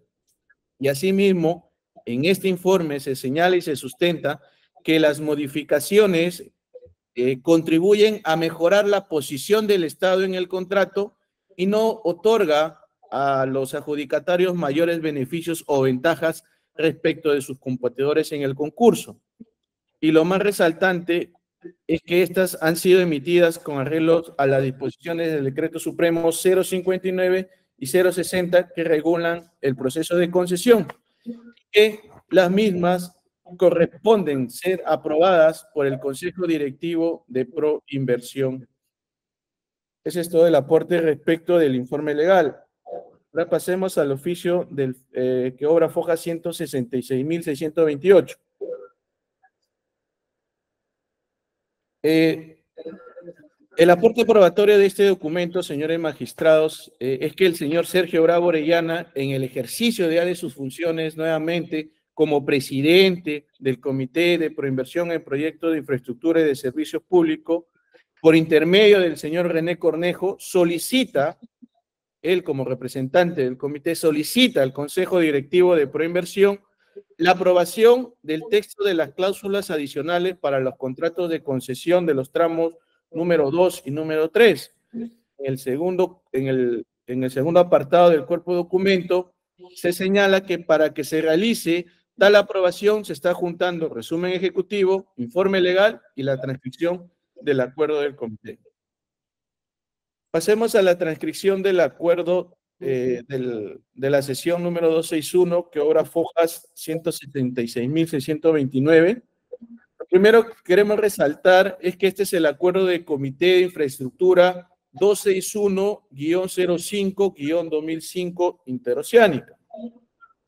Y el aporte probatorio es que eh, el comité acordó aprobar el texto de las cláusulas adicionales que modifican la versión final del contrato de los tramos 2 y tramo 3 y también asimismo dispuso o acordó elevar este acuerdo al Consejo Directivo de Proinversión para su aprobación, siendo que esta aprobación se da se adoptó visto el resumen ejecutivo número 65-2005-IOS. Pasemos a fojas 166.630. Eh, bueno, Nos adherimos a lo señalado ya por el doctor Su, que este, no es, este es un proyecto de cláusulas adicionales, y lo que queremos resaltar que estas cláusulas adicionales, tanto del tramo 2 y del tramo número 3, eh, y como ya se ha resaltado anteriormente, fueron aprobadas por el Consejo Directivo de Proinversión en virtud de las recomendaciones realizadas por la Contraloría General de la República en el informe previo eh, remitido a través del oficio número 1208 y que estas de cláusulas adicionales y conforme ya los informes que hemos hecho, que se ha resaltado y que se ha hecho lectura, lo que se hace a través de estas cláusulas adicionales, señores magistrados, tener en cuenta es mejorar la posición del Estado eh, respecto en el contrato de concesión respecto a lo que se señalaba la, a la versión final del contrato. Y finalmente, quiero ir a hoja 166.660, que está en la página 160 del PDF. Este es el informe número 029, señores magistrados, emitido por Ocitran. Eh, lo que queremos resaltar es que, independientemente al tiempo, a través de este informe, Ocitran emite su opinión respecto a las cláusulas adicionales a la versión final del contrato, donde eh, lo que finalmente hace Ocitran es recomendar la aprobación de la inclusión de estas cláusulas adicionales en el proceso de promoción de la IRSA Sur tramo 2 y tramo 3. Ese es todo el aporte, señores magistrados, respecto a este punto. Muchas gracias. Gracias. Doctor Francisco, por Sí, el señor Pasco Fonquevedo. Muchas gracias, señora magistrada. Eh, nos vamos a adherir a lo ya resaltado por el doctor Burgos y el doctor Su. No vamos a repetir para no ser sobreabundantes. Sin perjuicio de ello, sí vamos a señalar cuál es el aporte probatorio para esta defensa de este bloque 2.24 del libro blanco. En primer lugar, señora magistrada, que fue el equipo técnico sectorial el que recomendó al Comité de Infraestructura aprobar las cláusulas adicionales al contrato de concesión de los tramos 2 y 3 de la IRSA Sur. En segundo lugar, que fue el Consejo Directivo de Proinversión quien aprobó las cláusulas adicionales a los contratos de concesión de los tramos 2 y 3. También que fue el Consejo Directivo el que instruyó al comité incluir las cláusulas adicionales a los contratos de concesión de los tramos 2 y 3. Asimismo, señora magistrada, esto acredita que el comité se encontraba supeditado a las decisiones emitidas por el Consejo Directivo y finalmente se acredita que Proinversión implementó los comentarios y recomendaciones de la Contraloría formulados en el oficio 1208-2005, que es el informe previo. Eso es todo, señora magistrada. Gracias. La, la defensa del señor Castillo Olivos, doctora Gladys. Ningún comentario al respecto, señorita directora de debates. Gracias. Gracias. La defensa de la empresa JJC. Ninguna observación, señorita magistrada. Gracias. La defensa de las empresas Odebrecht. Ninguna observación, señorita magistrada, gracias. Gracias. Y, y terminamos con la defensa de la asociación procesal del señor Barclay Méndez. Ninguna observación, señorita magistrada, gracias. Bien. Doctores, hemos terminado este rubro. Corresponde pasar al numeral 2.24.1. Dice modificaciones a las cláusulas adicionales. Doctora, nos pone en contexto primero ya, y luego este, nos indica lo que vea por conveniente. Correcto, señora magistrada. Eh, como ya se ha señalado, señora magistrada, habiéndose ya tenido las cláusulas adicionales como punto básico y de partida, estas cláusulas sufrieron también modificaciones eh, que vamos a poder eh, visualizar a, eh, a través de los diversos proyectos que se han dado. Eh, tenemos el- la primera modificación que se da el 27 de julio y después el 2 de agosto. Señora magistrada, este bloque documentario, eh, como se puede apreciar, es efectuado, es elaborado antes de la fecha de cierre del proceso. Esto es del 4 de agosto, antes de la firma de los contratos de concesión. Ahora bien, señora magistrada, al respecto de esta documentación, señora magistrada, eh, quiero señalar eh, que el Ministerio Público se va a desistir eh, de las cláusulas adicionales al contrato de concesión para la construcción, conservación y explotación del tramo vial del proyecto Corredor Vial Interoceánico Perú-Brasil, tramos 2, 3 y 4, tramo 4. eh, está, me estoy refiriendo al proyecto del 27 de julio, que se encuentra en el primer bloque de cláusulas.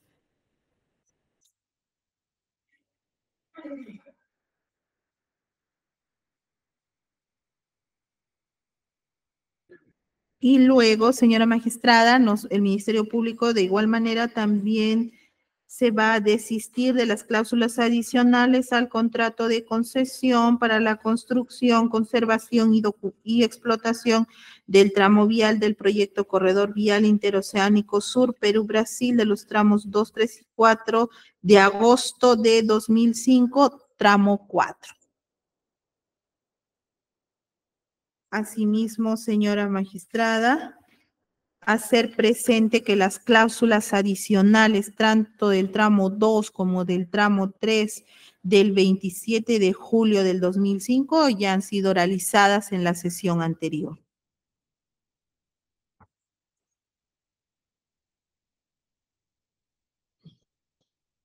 Lo- Los que acabamos de actuar. Eh, estamos, han sido oralizadas el, el rubro de acciones adoptadas derivadas del informe previo de la Contraloría. Ahí, este, adjuntas al oficio número 287, estaban estas cláusulas adicionales al contrato. Del 27 de julio. Ya, señora magistrada, ahora bien, atendiendo a que este, además se trata de documentación voluminosa, solicitamos que se den por oralizadas conforme al artículo 384, numeral 2 del Código Procesal Penal, para proceder a oralizar y resaltar las partes más importantes de la documentación para la tesis fiscal, señora magistrada. Ya, La pregunta es, doctora, en este rubro hay, hay dos donde dice, un ratito, doctor, eh, eh, donde dice cláusulas adicionales. En la, a ver, no ha dicho usted el numeral. Tendría que ser desde el numeral 2.24.1 antes hasta antes del Claro. Ah, para 2.25. Para precisarle, señora magistrada, las modificaciones de las cláusulas adicionales del 2.24.1 las ubicamos en el tomo 334 de folio 166.665 a folio 166.733 del expediente judicial. Y asimismo, señora magistrada, acotar que nos estamos desistiendo de las cláusulas adicionales correspondientes al tramo 4 porque no están, no son pertinentes para la teoría del caso del Ministerio Público. Ya vamos a ver. Doctor Roberto. Sí, señora magistrada, este, le escuché decir a la señora representante del Ministerio Público que también se está desistiendo de las cláusulas adicionales para el tramo 2 y 3 y que ya habrían sido realizadas en la sesión anterior. Si fuera así, quisiera que nos precise en qué folio, porque en realidad hay varias versiones y, y queremos cotejar que realmente se trate del mismo documento. A ver, eh, primero, cuando ya está actuado, no puede desistirse, doctora, ¿no es cierto? No, es que no me he Ya, Ahora, lo que está indicando es, sí, yo también tengo, miren, la misma copia, tengo dos veces, y usted nos dice cuándo, de acuerdo a eso, vamos a cotejar. A ver, empezando, eh, el 2.24.1, empezamos, doctora. Ya. Y luego pasamos a lo que dice circular número 54, ¿estamos? Ya. Ya, esas cláusulas Este grupo de cláusulas, señora son tres. magistrada, ya. son el, tres. el tercero es del tramo 4, no, no, Claro, que ese, ver. este, ese es el desistido. Ya. Eh, lo que he hecho, señora magistrada, Ya. es dar cuenta que ya se ha oralizado las, las cláusulas adicionales, tanto del tramo 2 como del tramo de 3. este, de, de- el, que De está, ese el que está, el que está a continuación de la circular 54. Correcto, Ya, señora. dice que ya está oralizado. Ahora, el señor abogado dice, ¿cuál, ¿en qué sesión sería? En la sesión pasada, señora magistrada, he procedido a realizar adjunto al oficio número 287 del 2005 que emite proinversión a la Contraloría General de la República, señora magistrada. Ya. Al parecer la defensa no ha comprendido bien. Ya, doctora, no. Todos necesitamos esclarecer, no hay problema. Ya, pasemos. Luego, luego, siguiendo esa relación de documentos, tenemos el acuerdo de comité de infraestructura 268. ¿Se ubica? Sí. Ya, y ahí hay dos cláusulas. Esas son Esas son, diferentes. son, se adicionan y se modifican algunos términos, señora magistrada. Este sería una pero ya segunda son- adición. Sería, o sea, señora magistrada, nosotros partimos de una base que se acaba de oralizar, que es las, las primeras. Ahora, por ejemplo, la- de lo de ese grupo, señora magistrada, que ahorita, que hace un momento le acabo de indicar, es la primera modificación. Esta sería la segunda modificación y última modificación. Esta sería una adicional del adicional que hemos leído, ¿no es Correcto, señora magistrada. Ya. Entonces, ah, al doctor José Roberto, eh, lo ubica, por favor, el oficio 287. Es en la sesión pasada donde empezó la fiscal a oralizar todo ese rubro de documentos de los oficios que estaba juntamente posteriores al informe previo. No, no, no, no, Dios mío, no. Vamos a continuar entonces, Fiscalía, ya puede aclarar el tema.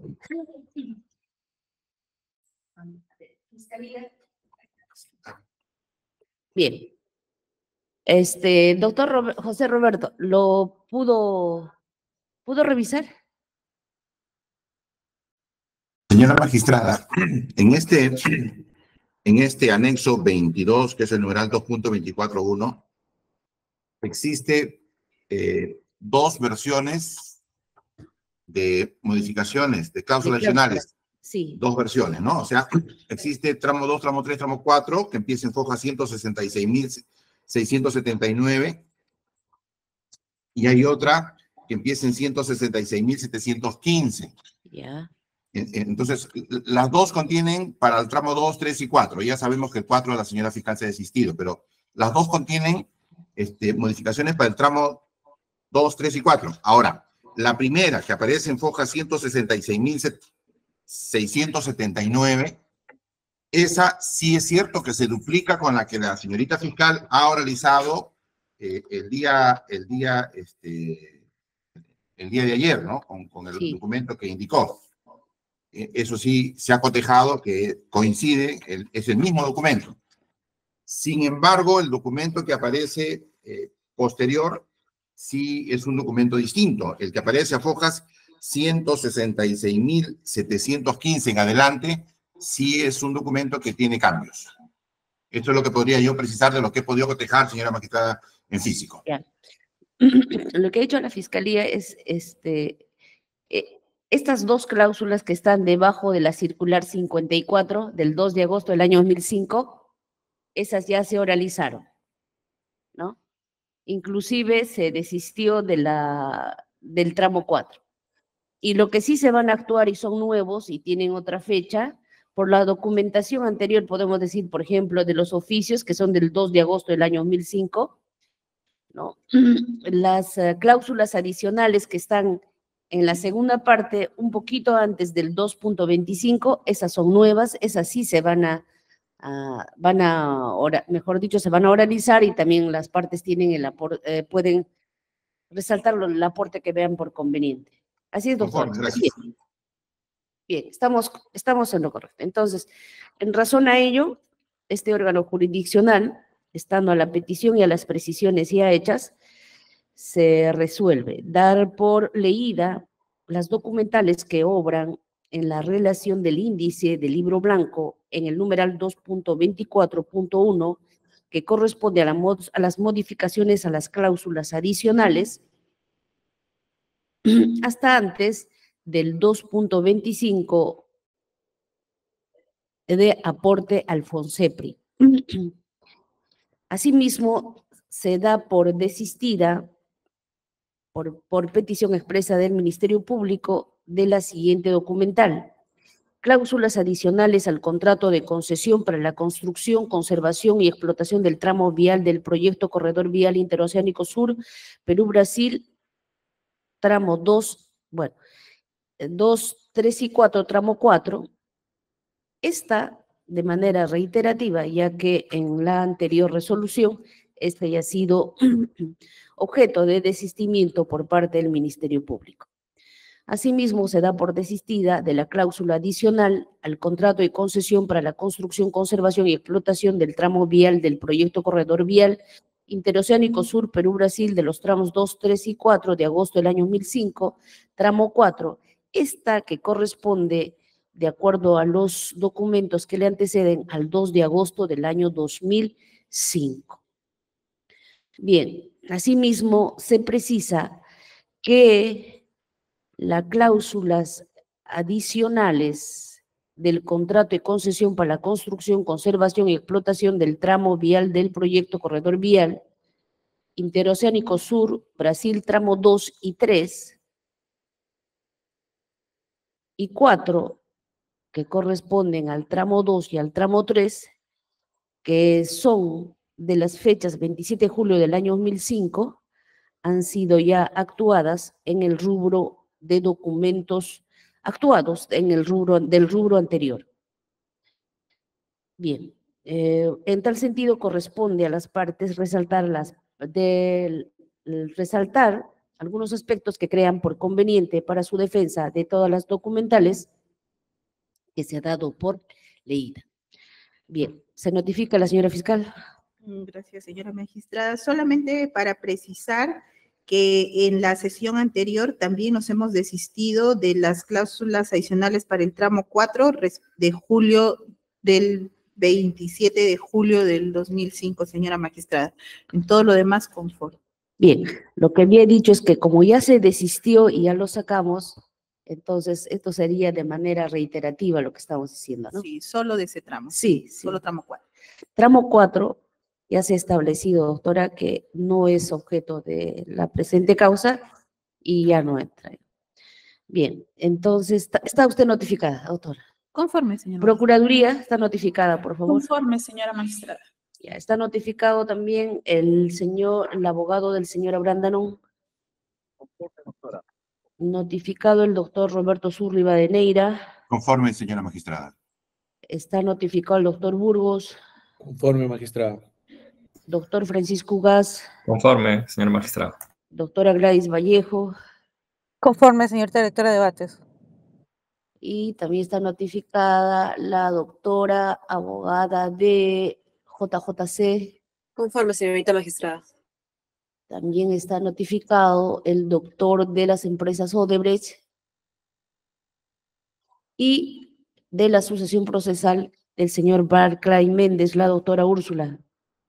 Conforme, señorita magistrada. Bien, entonces eh, corresponde a la fiscalía resaltar las partes importantes. Doctora, adelante. Gracias, señora magistrada. A continuación, señora magistrada, se va a continuar con la oralización del bloque de documentales que obren en el 2.24.1, modificaciones a las cláusulas adicionales. Así, señora magistrada, nos vamos a remitir al documento que obra en el folio 166.668, donde vamos a encontrar un resumen ejecutivo eh, de número 71-2005-IOS de fecha 27 de julio del 2005, con el tema solicita aprobación de modificación de cláusulas adicionales a la versión final del contrato. Así, en el punto antecedente, señora magistrada, en el punto 1, antecedentes, numeral 4, de igual manera se da cuenta que el 23 de junio eh, la Contraloría General de la República ha, ha emitido su informe previo a través del oficio número 1208-2005 y en el ítem número 5 se da cuenta que ese mismo día, 23 de junio, una vez recibida la, el informe previo de la Contraloría, se llevó a cabo la adjudicación de la buena pro. Ahora bien, eh, se da cuenta también en el numeral 7 que el día 12 de julio del 2005 el Consejo Directivo aprobó las cláusulas adicionales. Asimismo, se dio cuenta también de la emisión de los oficios 488-2005 del MEF que adjunta el informe 167-2005 y también el oficio 255-05 de OCITRAN que adjunta el informe 029. Ello, señora magistrada, en el punto 9. Ahora bien, Pasando a la base legal y análisis de este resumen ejecutivo, encontramos, señora magistrada, que la modificación propuesta a través de las cláusulas adicionales no coloca al concesionario en una posición más ventajosa que sus competidores durante el concurso, sino por el contrario, se señala que traslada a los mismos una carga adicional no prevista en el contrato que tiene por objeto fortalecer la posición del Estado. Ahora bien, esto lo encontramos en el folio 166.669. Asimismo, señora magistrada, dentro del análisis técnico, en el segundo párrafo, podemos eh, podemos observar que con la finalidad de atender lo señalado por la Contraloría General de la República en el punto 1 del oficio número 1208, se requiere efectuar algunas eh, precisiones y modificaciones a la versión final del contrato de concesión. Para tal efecto se han plasmado dichas eh, precisiones y modificaciones en las cláusulas adicionales cuyo texto cuenta con la expresa conformidad de los respectivos adjudicatarios mediante cartas de fecha 12 de julio. Asimismo, en la parte de conclusiones y recomendaciones, se recomienda al Comité de Proinversión aprobar uno, las modificaciones al texto de las cláusulas adicionales que modifican la versión final del contrato de concesión. Ahora bien, a folio 166.670 tenemos que firma este documento René Cornejo Díaz, director ejecutivo de Proinversión, Sergio Bravo Orellana, presidente del comité, Aldo Bresani, jefe de operaciones, y Guillermo Rebagliati Escala, coordinador técnico sectorial. Ahora, señora magistrada, a folio 166.671 tenemos el informe legal 375-2005, eh, donde queremos resaltar que este documento ha sido emitido por Percy Velarde Zapater, gerente de la oficina de la oficina legal, quien suscribe el documento para Sergio Bravo Orellana, presidente del Comité de Proinversión, con fecha 27 de julio de 2005 y el asunto es aprobación de las modificaciones al texto de las cláusulas adicionales a la versión final del contrato.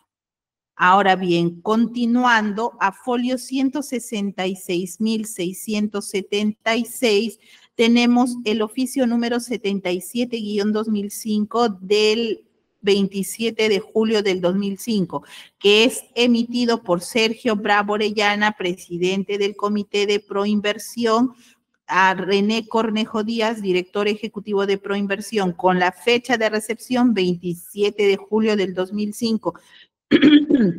a través de este documento solicita la, la aprobación de las cláusulas adicionales que modifican la versión final del contrato. Ahora, continuando con las actividades del comité a folio 166.677, tenemos el acuerdo de infraestructura número 267-1 del 27 de julio del 2005. En este documento, señora magistrada, se aprueba el texto de las cláusulas adicionales que modifican la versión final del contrato de concesión del concurso. Asimismo, firma Gustavo Villegas del Solar, secretario de actas del comité, con fecha 27 de julio del 2005.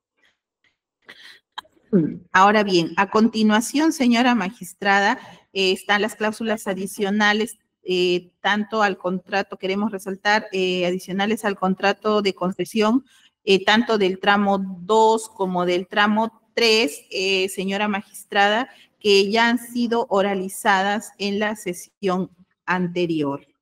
Únicamente resaltar que visan dichas documentales Sergio Bravo Orellana, presidente del comité, Percy Velarde Zapater, gerente de la oficina legal, y Guillermo Rebagliati Escala, coordinador técnico sectorial. Ahora bien, a folio 166.698 tenemos el oficio número 1208-2005 eh, respecto del informe previo. Ese documento, señora magistrada, también ha sido oralizado en diversas sesiones. Ahora pasamos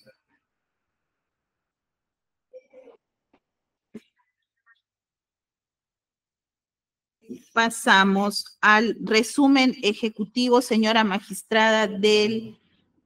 Ya hemos concluido entonces, señora magistrada, hasta este punto con, el, con todos los actos llevados a cabo para la aprobación de las eh, cláusulas adicionales al 27 de julio.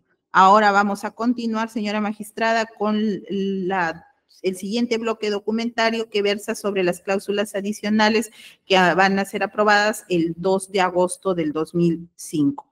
Al respecto, señora magistrada, tenemos el resumen ejecutivo número 72-2005-IOS de fecha 2 de agosto del 2005 donde tiene como tema precisión a la segunda cláusula adicional a la versión final del contrato. Ahora bien, eh, se deja constancia eh, esto que este documento obra folio 166.704 y queremos resaltar el punto 7 y 10 de este folio, eh, de este documento. Eh, en el punto 7 se indica que el 12 de julio se aprobó las cláusulas adicionales a los contratos de concesión y en el folio 10 se indica que el 27 de julio se aprobó las modificaciones al texto de las cláusulas adicion- adicionales mencionadas en el punto 7 precedente. Ahora bien, respecto a este resumen ejecutivo, vamos a continuar a folio 166.705 donde en el análisis técnico se precisa que la segunda cláusula adicional a los contratos de concesión de los tramos 2, 3 eh, se refieren a modificaciones de determinadas cláusulas del contrato. Entre ellas tenemos el literal E de la cláusula 8.24, que en ella se establece el procedimiento a seguir si el concesionario solicita la revisión del PAMO en caso que considere que dicho monto no resulte su- eh, no resultase suficiente para dar cumplimiento a las obligaciones establecidas en el contrato. Eh, como consecuencia de ello, se realizarán concursos o licitaciones públicas de acuerdo al establecido en la cláusula señalada.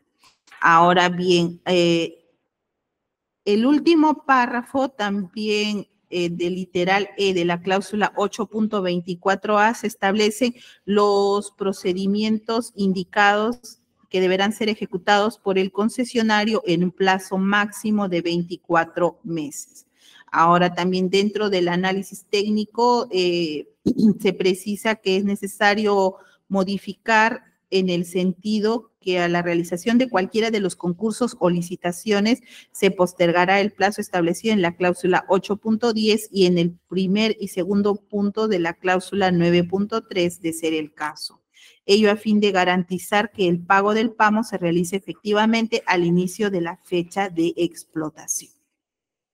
En el punto número cuatro de conclusión y recomendaciones, eh, se recomienda al Comité de Proinversión la modificación al texto del último párrafo del literal E de la cláusula 8.24 de la segunda cláusula adicional a la versión final del contrato de concesión. Así, a folio 166.706 firma René Cornejo Díaz, director ejecutivo de Proinversión, Sergio Bravo, presidente del comité, Aldo Bresani, jefe de operaciones, y Guillermo Rebagliati, coordinador técnico sectorial. A folio 166.707 tenemos el informe legal 380-2005-LE-PPZ. Eh, queremos resaltar que este documento ha sido emitido por Percy Velarde, jefe de la oficina legal, a Sergio Bravo Orellana, presidente del Comité de Proinversión de Proyectos en Infraestructura, con fecha 2 de agosto del 2005. Firma, firmado también por Percy Velarde Zapater, jefe de la Oficina de Asesoría Legal. Eh, a folio 166.712, eh, bueno, ya se ha oralizado o haya sido materia de oralización, sin embargo, se recalca la circular 57 del 3 de agosto del 2005, donde eh, se corre traslado o se pone, se da a conocer a los, a los adjudicatarios las la segunda modificación a las cláusulas adicionales. En este sentido, firma Sergio Bravo Orellana, presidente del Comité de Proinversión, y Guillermo Rebaglietti Escala, coordinador técnico sectorial. Luego, señora magistrada, tenemos a folio 166.713, el oficio número 78-2005, de fecha 2 de agosto del 2005 eh, firmado Sergio Bravo Orellana, presidente del Comité de Proinversión de Proyectos en Infraestructura, con fecha de recepción 2 de agosto del 2005. La finalidad es solicitar la aprobación a las precisiones al texto de las cláusulas adicionales que modifican la versión final del contrato de concesión. Ahora bien, a folio 166.714 tenemos que el acuerdo del Comité de Infraestructura 268-1 del 2 de agosto del 2005, eh, donde se aprueban las precisiones a los textos de las cláusulas adicionales que modifican la versión final del contrato. Al respecto, en el punto 4, eh, solo se autoriza a la firma de, de estos resúmenes ejecutivos y circular al al secretario de actas del comité. Es el señor Gustavo Villegas del Solar, secretario de actas del comité, con fecha 2 de agosto del 2005, emite la transcripción.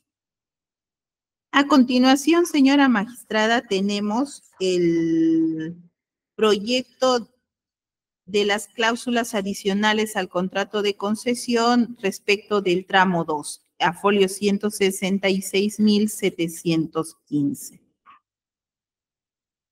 Queremos resaltar, señora magistrada, básicamente las modificaciones o adiciones que se habrían efectuado a folio 166.716 respecto de la cláusula 7.9 respecto de las cláusulas 7.9, eh, tenemos que indicar que se ha agregado el literal F del inciso 2. Y respecto del, del literal B, se ha agregado al final la pequeña, la frase que más la garantía que se refiere el inciso 3 de la cláusula 7.9. Ello es al finalizar la cláusula. Ahora bien, la cláusula F que se ha adicionado consiste en que el concesionario cedente quedará liberado de todas las obligaciones y responsabilidades asumidas en el contrato después de la, la cesión de la posición contractual referida en esta cláusula, salvo el caso de responsabilidad del concesionario derivada de la ejecución de obras de la construcción, la cual se regirá por lo estipulado en el presente contrato. Ahora bien, en la cláusula 7.9, inciso 3, respecto a la responsabilidad de, en caso de cesión de la posición contractual, eh, tenemos que ha existido una variación en el monto de la garantía que ahora es por un equivalente a 3 millones 500 mil dólares. Eh, se ha incrementado respecto del monto del anterior proyecto que estaba basado en 2.800.000 dólares. De igual forma, señora magistrada, fue los 166.717. En el segundo párrafo también se ha incrementado el monto, en donde se indica al vencimiento de dicho plazo, la garantía deberá ascender a 5 millones de dólares. En las cláusulas adicionales anteriores establecía 3 millones 500 mil dólares.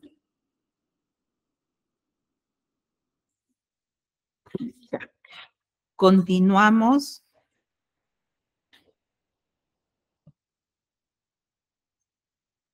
Eh, a folio 166.719 se ha adicionado a esta cláusula eh, respecto de la cesión de, de, o transferencia de la concesión a la cláusula 12.1 1, último párrafo, donde se establece que el concedente deberá pronunciarse sobre la operación en un plazo máximo de 60 días contados desde la presentación de la solicitud con toda la documentación exigida en esta cláusula. El asentimiento del concedente no libera la, de la responsabilidad a la empresa que transfiere su derecho a la concesión o sea su posición contractual hasta el plazo máximo de un año desde la fecha de aprobación de la sesión.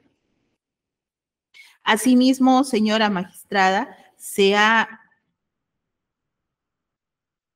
se ha incorporado el rubro de precisiones respecto a las propuestas técnicas del concesionario y también se ha incorporado la cláusula cuarta respecto a las precisiones en materia de pasivos ambientales. Esto entendido en coordinación con Macro Inves.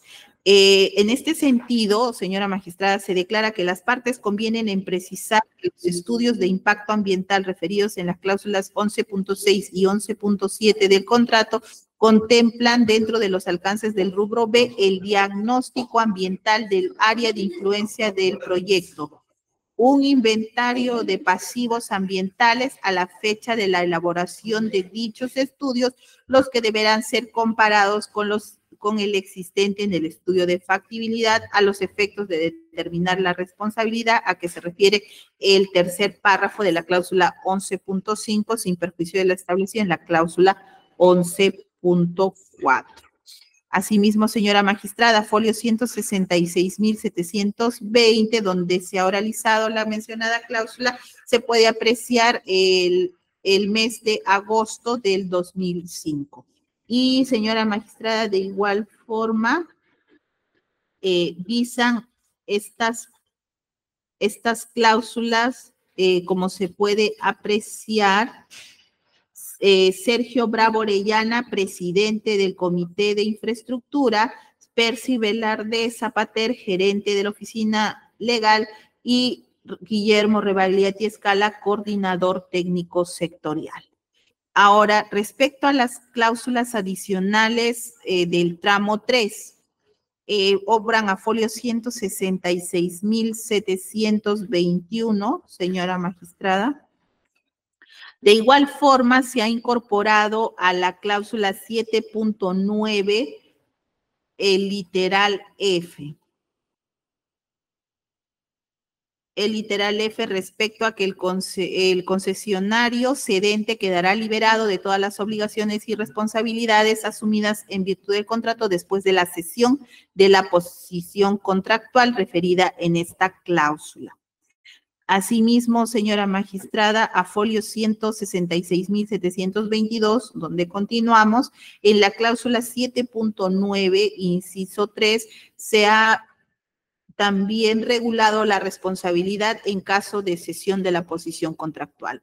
En esta, en esta versión de las de cláusulas adicionales, también ha habido una modificación, pero respecto a la garantía que debe ofrecer el concesionario a favor del concedente, que ha variado a 4 millones 200 mil dólares de los 2 millones 800 mil que eran ofrecidos en el anterior proyecto. Ahora bien, a folio 166.723, de igual manera, eh, en el segundo párrafo, respecto al monto de la garantía al vencimiento del plazo, eh, se ha establecido en 6 millones de dólares, habiendo variado, y la diferencia es que en la cláusula anterior se aludía a 4 millones 200 mil dólares.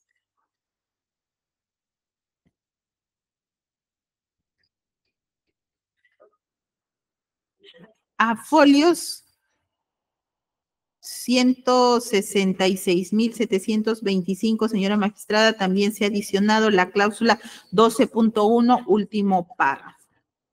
Ahora bien, a folio 166.726 se advierte que se ha regulado la cláusula cuarta respecto a las precisiones en materia de pasivos ambientales con la, ya con el mismo texto señalado para el tramo 2.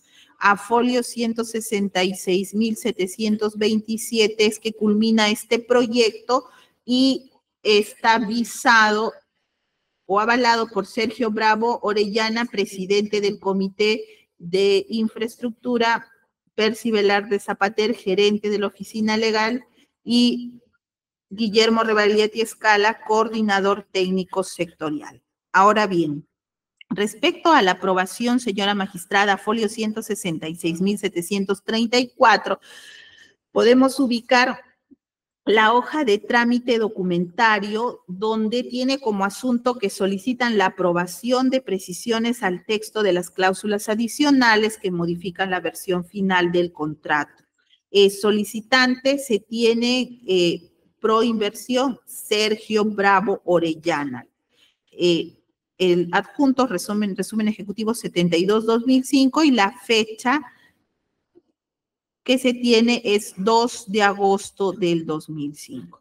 Ahora bien, señora magistrada, para el Ministerio Público el aporte de todo este bagaje documental correspondiente a la modificación de las cláusulas adicionales es claramente, señora magistrada, el trámite célere que se le ha dado a la aprobación para que estas cláusulas se modifiquen. Eso es lo que se buscaba, señora magistrada se buscaba la celeridad en el trámite, puesto que la última modificatoria se dio, señora magistrada, dos días antes de la suscripción de los contratos de concesión, que se llevó a cabo el 4 de agosto del 2005. Eso es por parte nuestra. Gracias. Procuraduría. Sí, señora magistrada, Procuraduría se va a adherir a todo el contenido realizado por el Ministerio Público. Sin embargo, también queremos precisar que de toda esta documentación podemos advertir la premura en la que han sido emitidos estos documentos vinculados a la modificación de las cláusulas a los contratos de concesión. Gracias. Gracias. La defensa, el señor Alejandro Toledo. Doctor Roberto. Eh, sí, señora magistrada, me permite compartir, por favor, pantalla. Gracias. Adelante, doctora. Gracias.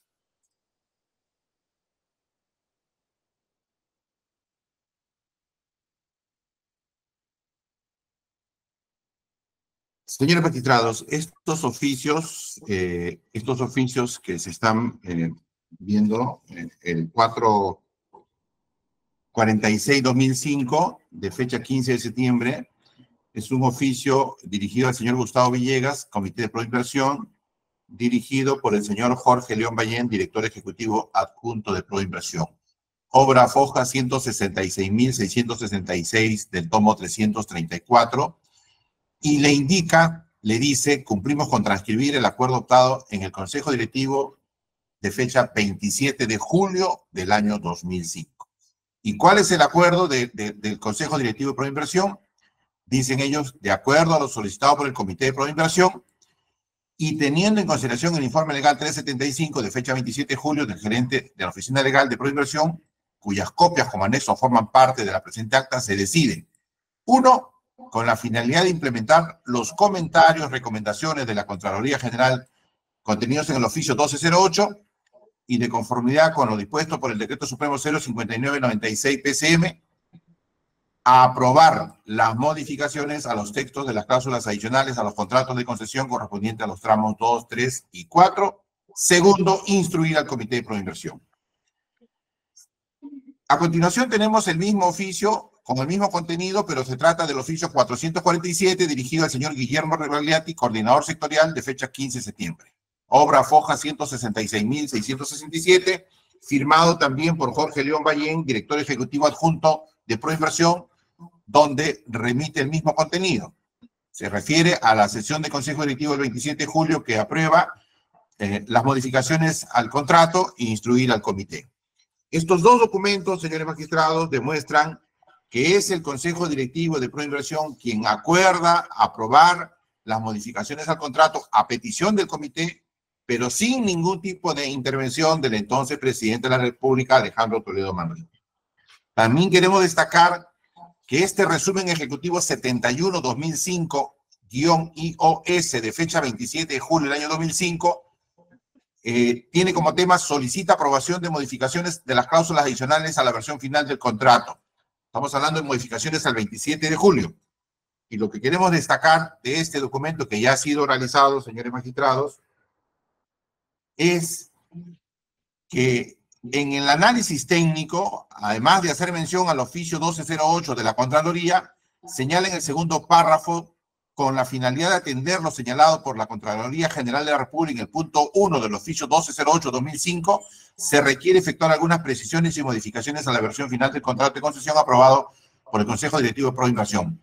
Para tal efecto, se han plasmado dichas precisiones y modificaciones en las cláusulas adicionales que fueron aprobadas por el Consejo Directivo en sesión de fecha 12 de julio del año 2005, cuyo texto cuenta con expresa conformidad de los respectivos adjudicatarios mediante carta de fecha 12 de julio del año 2005. Es decir, este documento que aparece firmado por el señor Cornejo, director ejecutivo, el señor Sergio Bravo, el señor Brazani, jefe de operaciones, y el señor Repagliati, como se aprecia del folio 166.670 del tomo 334, demuestra la preocupación del, del Comité de Proinversión en dar un tipo de solución para incorporar los comentarios, observaciones que había formulado la Contraloría en el informe previo, pero una vez más no hay ninguna referencia al entonces presidente de la República como un factor para hacer algún tipo de modificaciones a los contratos. También se ha comentado este documento, señores magistrados, que es el informe legal 375-2005, pero en esta oportunidad quien hace el informe es el gerente de la oficina legal, que es Percy Velarde Zapater, dirigido al señor Sergio Bravo fecha 27 de julio, obra foja 166.671 a 166.673, firmado por Percy Velarde Zapater, donde concluye que las modificaciones al texto de las cláusulas adicionales propuestas contribuyen con mejorar la posición del Estado en el contrato de concesión y no otorgan al adjudicatario mayores beneficios o ventajas respecto a sus competidores y señala que estas modificaciones se encuadran en lo dispuesto en los decretos supremos 059 y 060-96 PCM. Entonces, este documento sumado al, al, al, resumen ejecutivo acreditan pues el trámite ordinario, regular que siguió esta modificación vía, vía eh, cláusula adicional al contrato. Finalmente, queremos destacar dentro de este paquete eh, es el señor Sergio Bravo Orellana quien, mediante este oficio 77 de fecha 27 de julio del año 2005, se dirige al señor René Cornejo Díaz y le pide que ponga en consideración del Consejo Directivo de Proinversión la aprobación de los textos de las cláusulas adicionales para los contratos del tramo 2, tramo 3 y tramo 4. Una vez más, es el órgano técnico de Proinversión quien se dirige al director ejecutivo sin que exista ningún tipo de injerencia o participación del entonces presidente Alejandro Toledo Manrique. También queremos destacar, señores magistrados, que a Fojas 166.702 aparece el oficio 468-2005. Este oficio, señores magistrados, eh, de fecha 22 de septiembre, está dirigido por el señor René Cornejo al señor Rebagliati, coordinador técnico. Y mediante este oficio de fecha 22 de septiembre del año 2005, recibido 22 de septiembre del año 2005, le transfiere o le comunica el acuerdo del Consejo Directivo de Proinversión de fecha 2 de agosto del año 2005, donde se puede apreciar que dice aprobar la precisión a las cláusulas adicionales del contrato de concesión, tramo 2, tramo 3, tramo 4.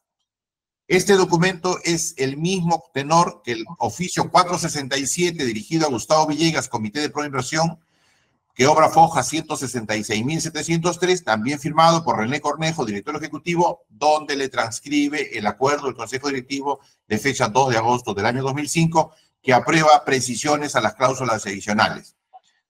Asimismo, encontramos un resumen ejecutivo de la misma fecha, 2 de agosto del año 2005, que tiene como tema precisión a la segunda cláusula adicional de la versión final del contrato. Obra foja 166.704 ¿Qué queremos destacar de este resumen ejecutivo?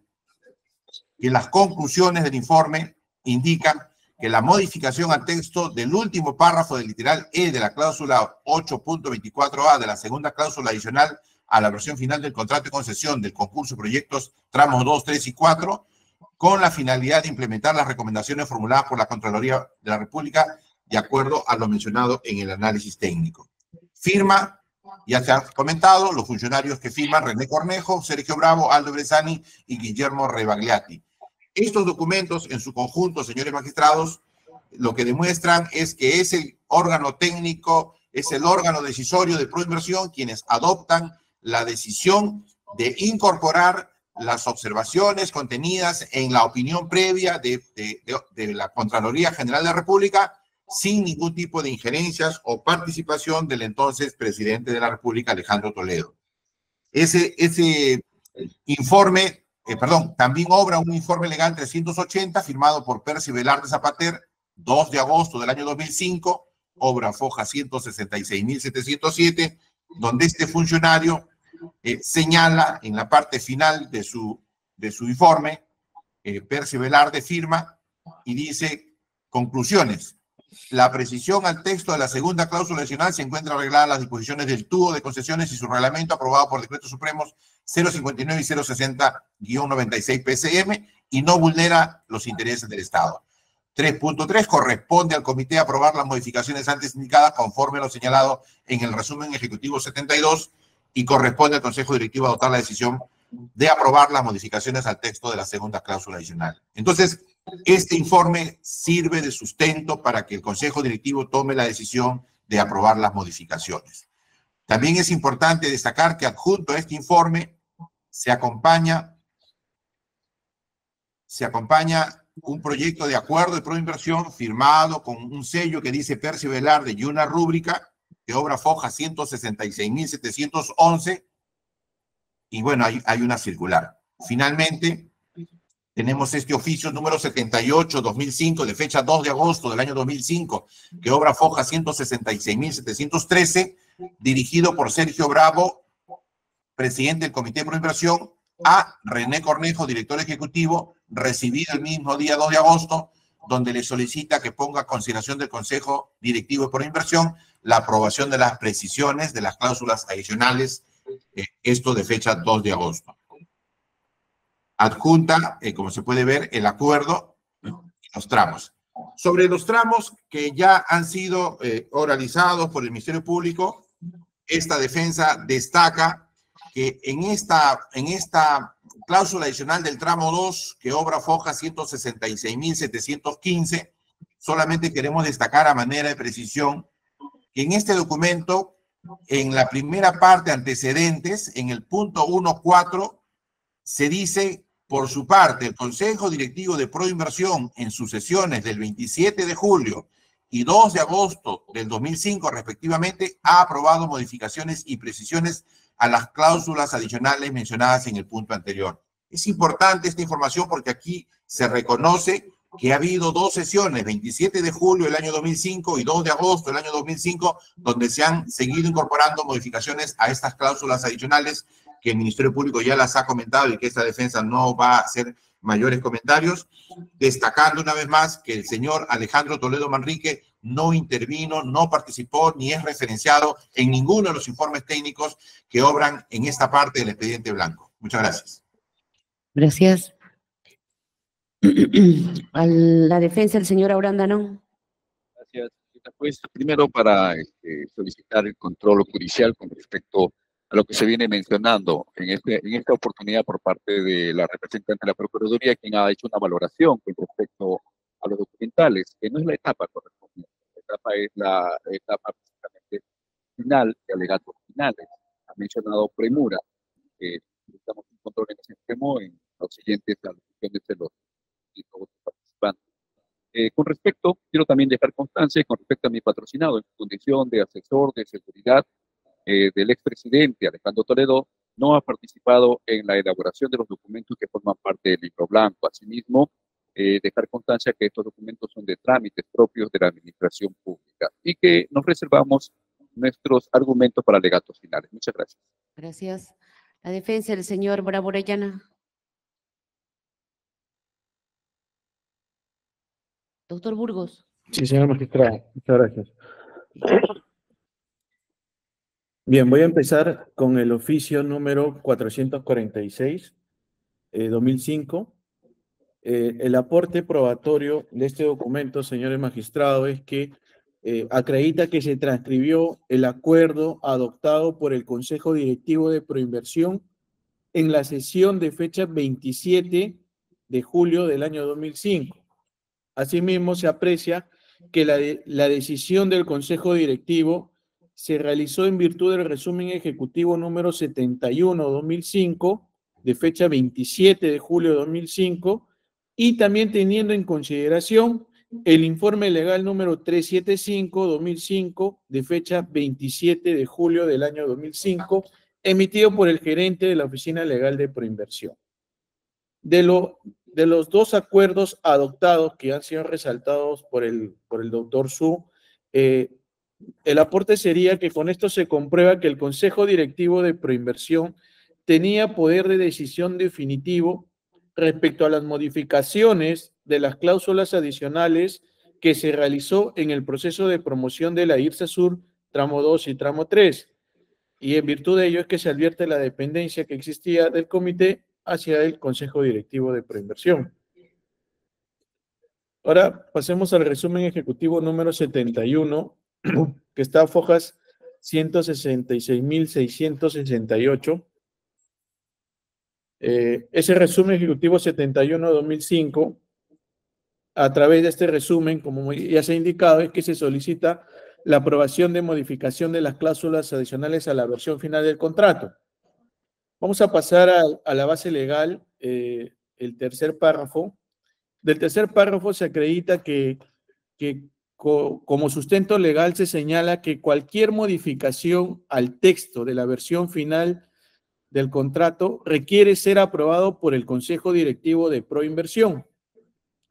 Asimismo, en el cuarto párrafo del análisis legal se sustenta que esta modificación propuesta a través de las cláusulas adicionales no coloca al concesionario en una posición más ventajosa que sus competidores durante el proceso, durante el concurso. Por el contrario, señala que se traslada al concesionario una carga adicional no prevista en el contrato que fortalece más bien la posición del Estado conforme a la opinión dada por el Ministerio de Economías y Finanzas. Y también, por tanto, refiere que dichas modificaciones no resultan ser cuestionadas legalmente. Ahora, respecto del análisis técnico, eh, en atención a lo señalado en el tercer párrafo de este párrafo de este apartado, se acredita que las cláusulas adicionales eh, contaron con la opinión favorable del Ministerio de Economía y Finanzas, así como de Citran, de acuerdo a lo que se ha señalado en los puntos 8.9 de los antecedentes que ya han sido resaltados por la representante del Ministerio Público. Queremos resaltar también que en atención a lo que se señala en el rubro conclusiones y recomendaciones, se acredita que a través de este resumen ejecutivo se recomendó al comité aprobar las modificaciones al texto de las cláusulas adicionales que modifican la versión final del contrato. Por tanto, va a servir para demostrar esta defensa eh, que este resumen no fue elaborado por el comité. Pasemos al informe legal 375-2005. Que obra foja 166.671. Bueno, es el informe legal 375 que ha sido remitido por o elaborado por el señor Percy Velarde Zapater, gerente legal de la oficina legal, al señor Sergio Bravo Orellana, en su condición de presidente del comité. Eh, lo que queremos resaltar eh, son las conclusiones 3.1, 3.2 y 3.4 donde se señala, donde eh, el asesor legal señala que las modificaciones propuestas contribuyen con mejor con mejorar la posición del Estado en el contrato de concesión y que estas modificaciones se encuentran eh, conforme a lo señalado en las normas de concesiones, que es el decreto supremo 059 y 060, y que es el Consejo Directivo a quien le corresponde adoptar la decisión de aprobar las modificaciones al texto de las cláusulas adicionales. Con todo ello, señores magistrados, el aporte sería que, eh, eh, que la inclusión de las modificaciones a las cláusulas adicionales a la versión final del contrato tuvo respaldo en este informe emitido por el asesor legal de Proinversión, en este caso el señor Percy Velarde Zapater, que es gerente de la oficina legal. Pasemos al oficio número 77, que obra fojas 166.676.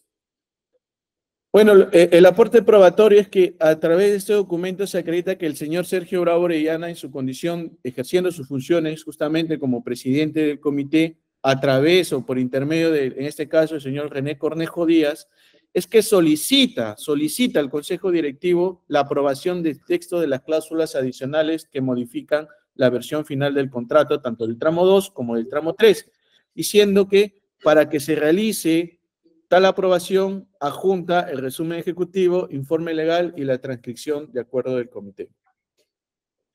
Respecto la transcripción de la sesión 267, que ahora foja 166.677,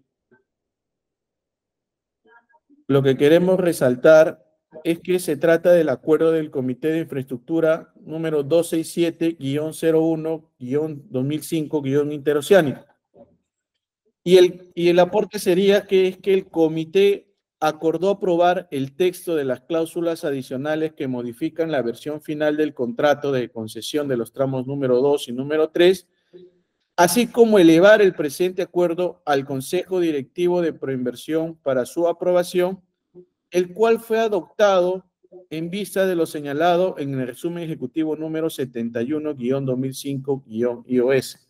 Asimismo, del numeral 3 de dicho acuerdo, se desprende que la emisión de la circular que va a comunicar a los interesados respecto de esta modificación estaba sujeta a la aprobación del Consejo Directivo de Proinversión. Con esto, señores magistrados, nuevamente va a servir para acreditar que el Consejo Directivo es quien tenía el poder de decisión definitivo respecto al texto de las cláusulas adicionales que se realizó en este proceso de la IRSA Sur, tramo 2 y tramo 3. Bueno, la circular ya ha sido realizada en su momento. Las, sobre las cláusulas adicionales también ya se señaló el aporte. Pasemos, por favor, a, al FOJA 166.703, que es la página 203. El oficio, se trata del oficio número 467-2005, eh, proinversión. Este documento está firmado por el señor René Cordejo Díaz y está dirigido al señor Gustavo Villegas, Comité de Proinversión.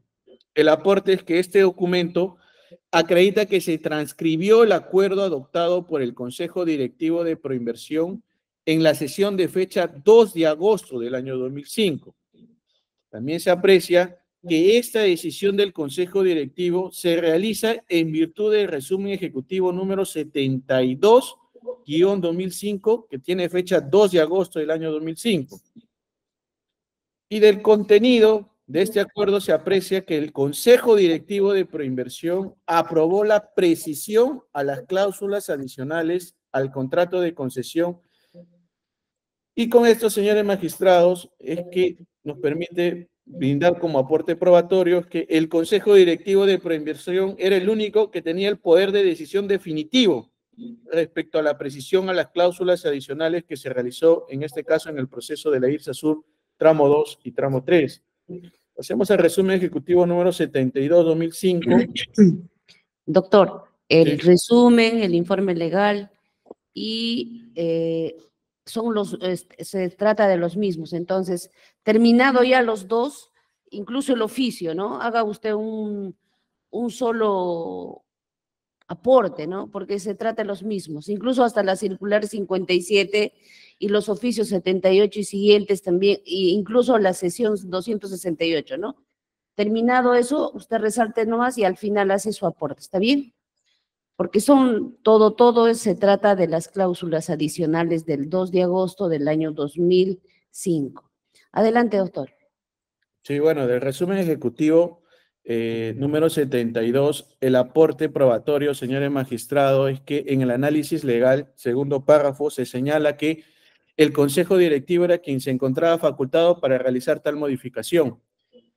Asimismo, respecto a lo señalado en la conclusión y recomendación, se acredita o va a servir para acreditar que este documento, este resumen ejecutivo, a través de este resumen ejecutivo es que se recomienda al comité aprobar la modificación al texto y elevarlo al Consejo Directivo. Y esto va a servir para nosotros también afirmar de que este documento no es elaborado por, y ni sustentado por el, Comité de Proinversión. Respecto del informe legal, ya se ha hecho lectura este, íntegra eh, respecto a las conclusiones. Nosotros nos vamos a adherir a, esos fundamentos del informe legal número 380. Y el aporte probatorio sería que acredita que la precisión a la segunda cláusula adicional a la versión final del contrato tuvo respaldo en este informe legal emitido por el gerente de proinversión, el gerente legal de proinversión, y, y donde se señala que esta decisión de, de inclusión, de precisión, le correspondía al Consejo Directivo de Proinversión. Respecto al, pasemos al oficio número 78. Ya para ir terminando, el oficio 78 que está en la página 213. Bueno, eh, al, igual que lo señalaba anteriormente, a través de este oficio se acredita que el señor Sergio Bravo Orellana solicita la aprobación de esta precisión de las cláusulas adicionales al Consejo Directivo de Proinversión, con lo cual se acredita que el Consejo era el que tenía el poder de decisión final sobre las, la precisión de las cláusulas adicionales. Y respecto a la transcripción de la sesión 268, que obra foja 166.714, lo que queremos resaltar es eh, el número de acuerdo del comité es el 268-01-2005 y que del contenido de este informe se comprueba que el comité acordó aprobar, aprobar esta precisión a los textos de las cláusulas adicionales en vista de lo señalado en el resumen ejecutivo número 72-2005. Y asimismo también dispuso que se eleve al Consejo Directivo para su aprobación, debido a que el Consejo era el que tenía el poder de decisión definitivo respecto de esta precisión al texto de las cláusulas adicionales del contrato, con lo cual se muestra la dependencia que existe del comité hacia el Consejo Directivo de Proinversión. Y ya para acabar finalmente respecto a las cláusulas adicionales, nuevamente aclarar que eh, en las mismas obras el, visto bueno del señor Sergio Bravo Orellana, en virtud de que él es el, eh, el ejercicio de sus funciones como presidente del Comité Especial de Proinversión del Proyecto de Infraestructura y Servicios Públicos. Y aclarar nuevamente, para cerrar este tema, es que estas cláusulas adicionales, lo único que se realiza es mejorar la posición del Estado respecto a lo señalado en el contrato de concesión. Y esto se realiza en virtud a los informes previos que se han oralizado anteriormente. Muchas gracias. Gracias. Doctor Francisco Ugas. Sí, señora magistrada, muchas gracias. A efectos de no ser sobreabundantes, nos vamos a adherir a lo ya resaltado por el doctor Burgos y el doctor Su. Y sin perjuicio de ello, vamos a resaltar el, cuál es el aporte probatorio para esta defensa de este bloque de documentales que está en el numeral 2.24.1. En primer lugar, queremos resaltar que fue el equipo técnico sectorial el que recomendó al comité las modificaciones al texto de las cláusulas adicionales que modifican la versión final del contrato. También queremos resaltar que fue el Consejo Directivo quien aprobó las modificaciones a los textos de las cláusulas adicionales a los contratos de concesión. También que fue el Consejo Directivo quien aprobó la precisión a las cláusulas adicionales. Estas decisiones del Consejo Directivo, eh, señora magistrada, acreditan que, que el comité se encontraba supeditado a las decisiones del Consejo Directivo. También queremos resaltar que fue el equipo técnico sectorial eh, quien recomendó al comité la modificación del último párrafo del literal E de la cláusula 8.24a de la segunda cláusula adicional a la versión final del contrato. Y finalmente, señora magistrada, queremos resaltar que todo este bloque de documentales lo único que acreditan es que Proinversión implementó las recomendaciones y comentarios realizados por la Contraloría en su informe previo. Eso es todo, señora magistrada. Muchas gracias. La defensa del señor Castillo de Vos. Ningún comentario, señorita directora de debates. Gracias. Gracias. La defensa de la empresa JJC. Ningún comentario, señorita magistrada. Gracias. La defensa de las empresas Odebrecht. Ningún comentario por nuestra parte, señorita magistrada. Gracias, doctor Víctor. Y finalmente la defensa de la asociación procesal del del señor Barclay Méndez. Doctora Úrsula. Ningún comentario, señorita magistrada. Gracias. Bien. Este, se le informa a la señorita presidenta por el día de hoy. La jornada habría concluido. Gracias. Bien, gracias, doctora. Con ello, entonces, vamos a cerrar el registro de audio, no sin antes preguntarle al doctor Su. Doctor Su, ¿me ve? Eh, no la veo, pero la escucho, señora Presidenta. Doctor Su, escúcheme, el 29 viene su testigo, a efecto de no fallar con el idioma. ¿Es hebreo alemán, hebreo normal, hebreo inglés? Si veo inglés, No, no, no, este, el testigo en principio es suizo. Ellos hablan suizo, hablan inglés, hablan alemán y francés. suizo-alemán, entonces, ¿qué hablan? Sí, ¿Qué sí. idioma hablan? ¿Suizo-alemán? Suizo, su lengua madre, y alemán. Ya, para Entonces, usted el mismo este, intérprete, pues. Sí, igual yo voy a este, pedir a los familiares que son los que están coordinando este tema en, en Suiza, que me den esa coordinada ahora mismo, porque es pasado mañana. Ya, nosotros vamos a oficiar ya, doctor, ¿ya? Ya, Porque gracias. Si no, no, no, nos, este, no nos coberturan al intérprete. ¿Ya? Suizo-alemán quedamos, doctor. ¿Sí? Gracias, doctor. Bien, con esa indicación entonces vamos a cerrar el registro de audio 10 y 50 y, ay, perdón, 11 y 55 de la, de la fecha y vamos a notificar a todos para el día de mañana a las 9 de la mañana. Buenas tardes, señores. Buenas tardes. Buenas tardes.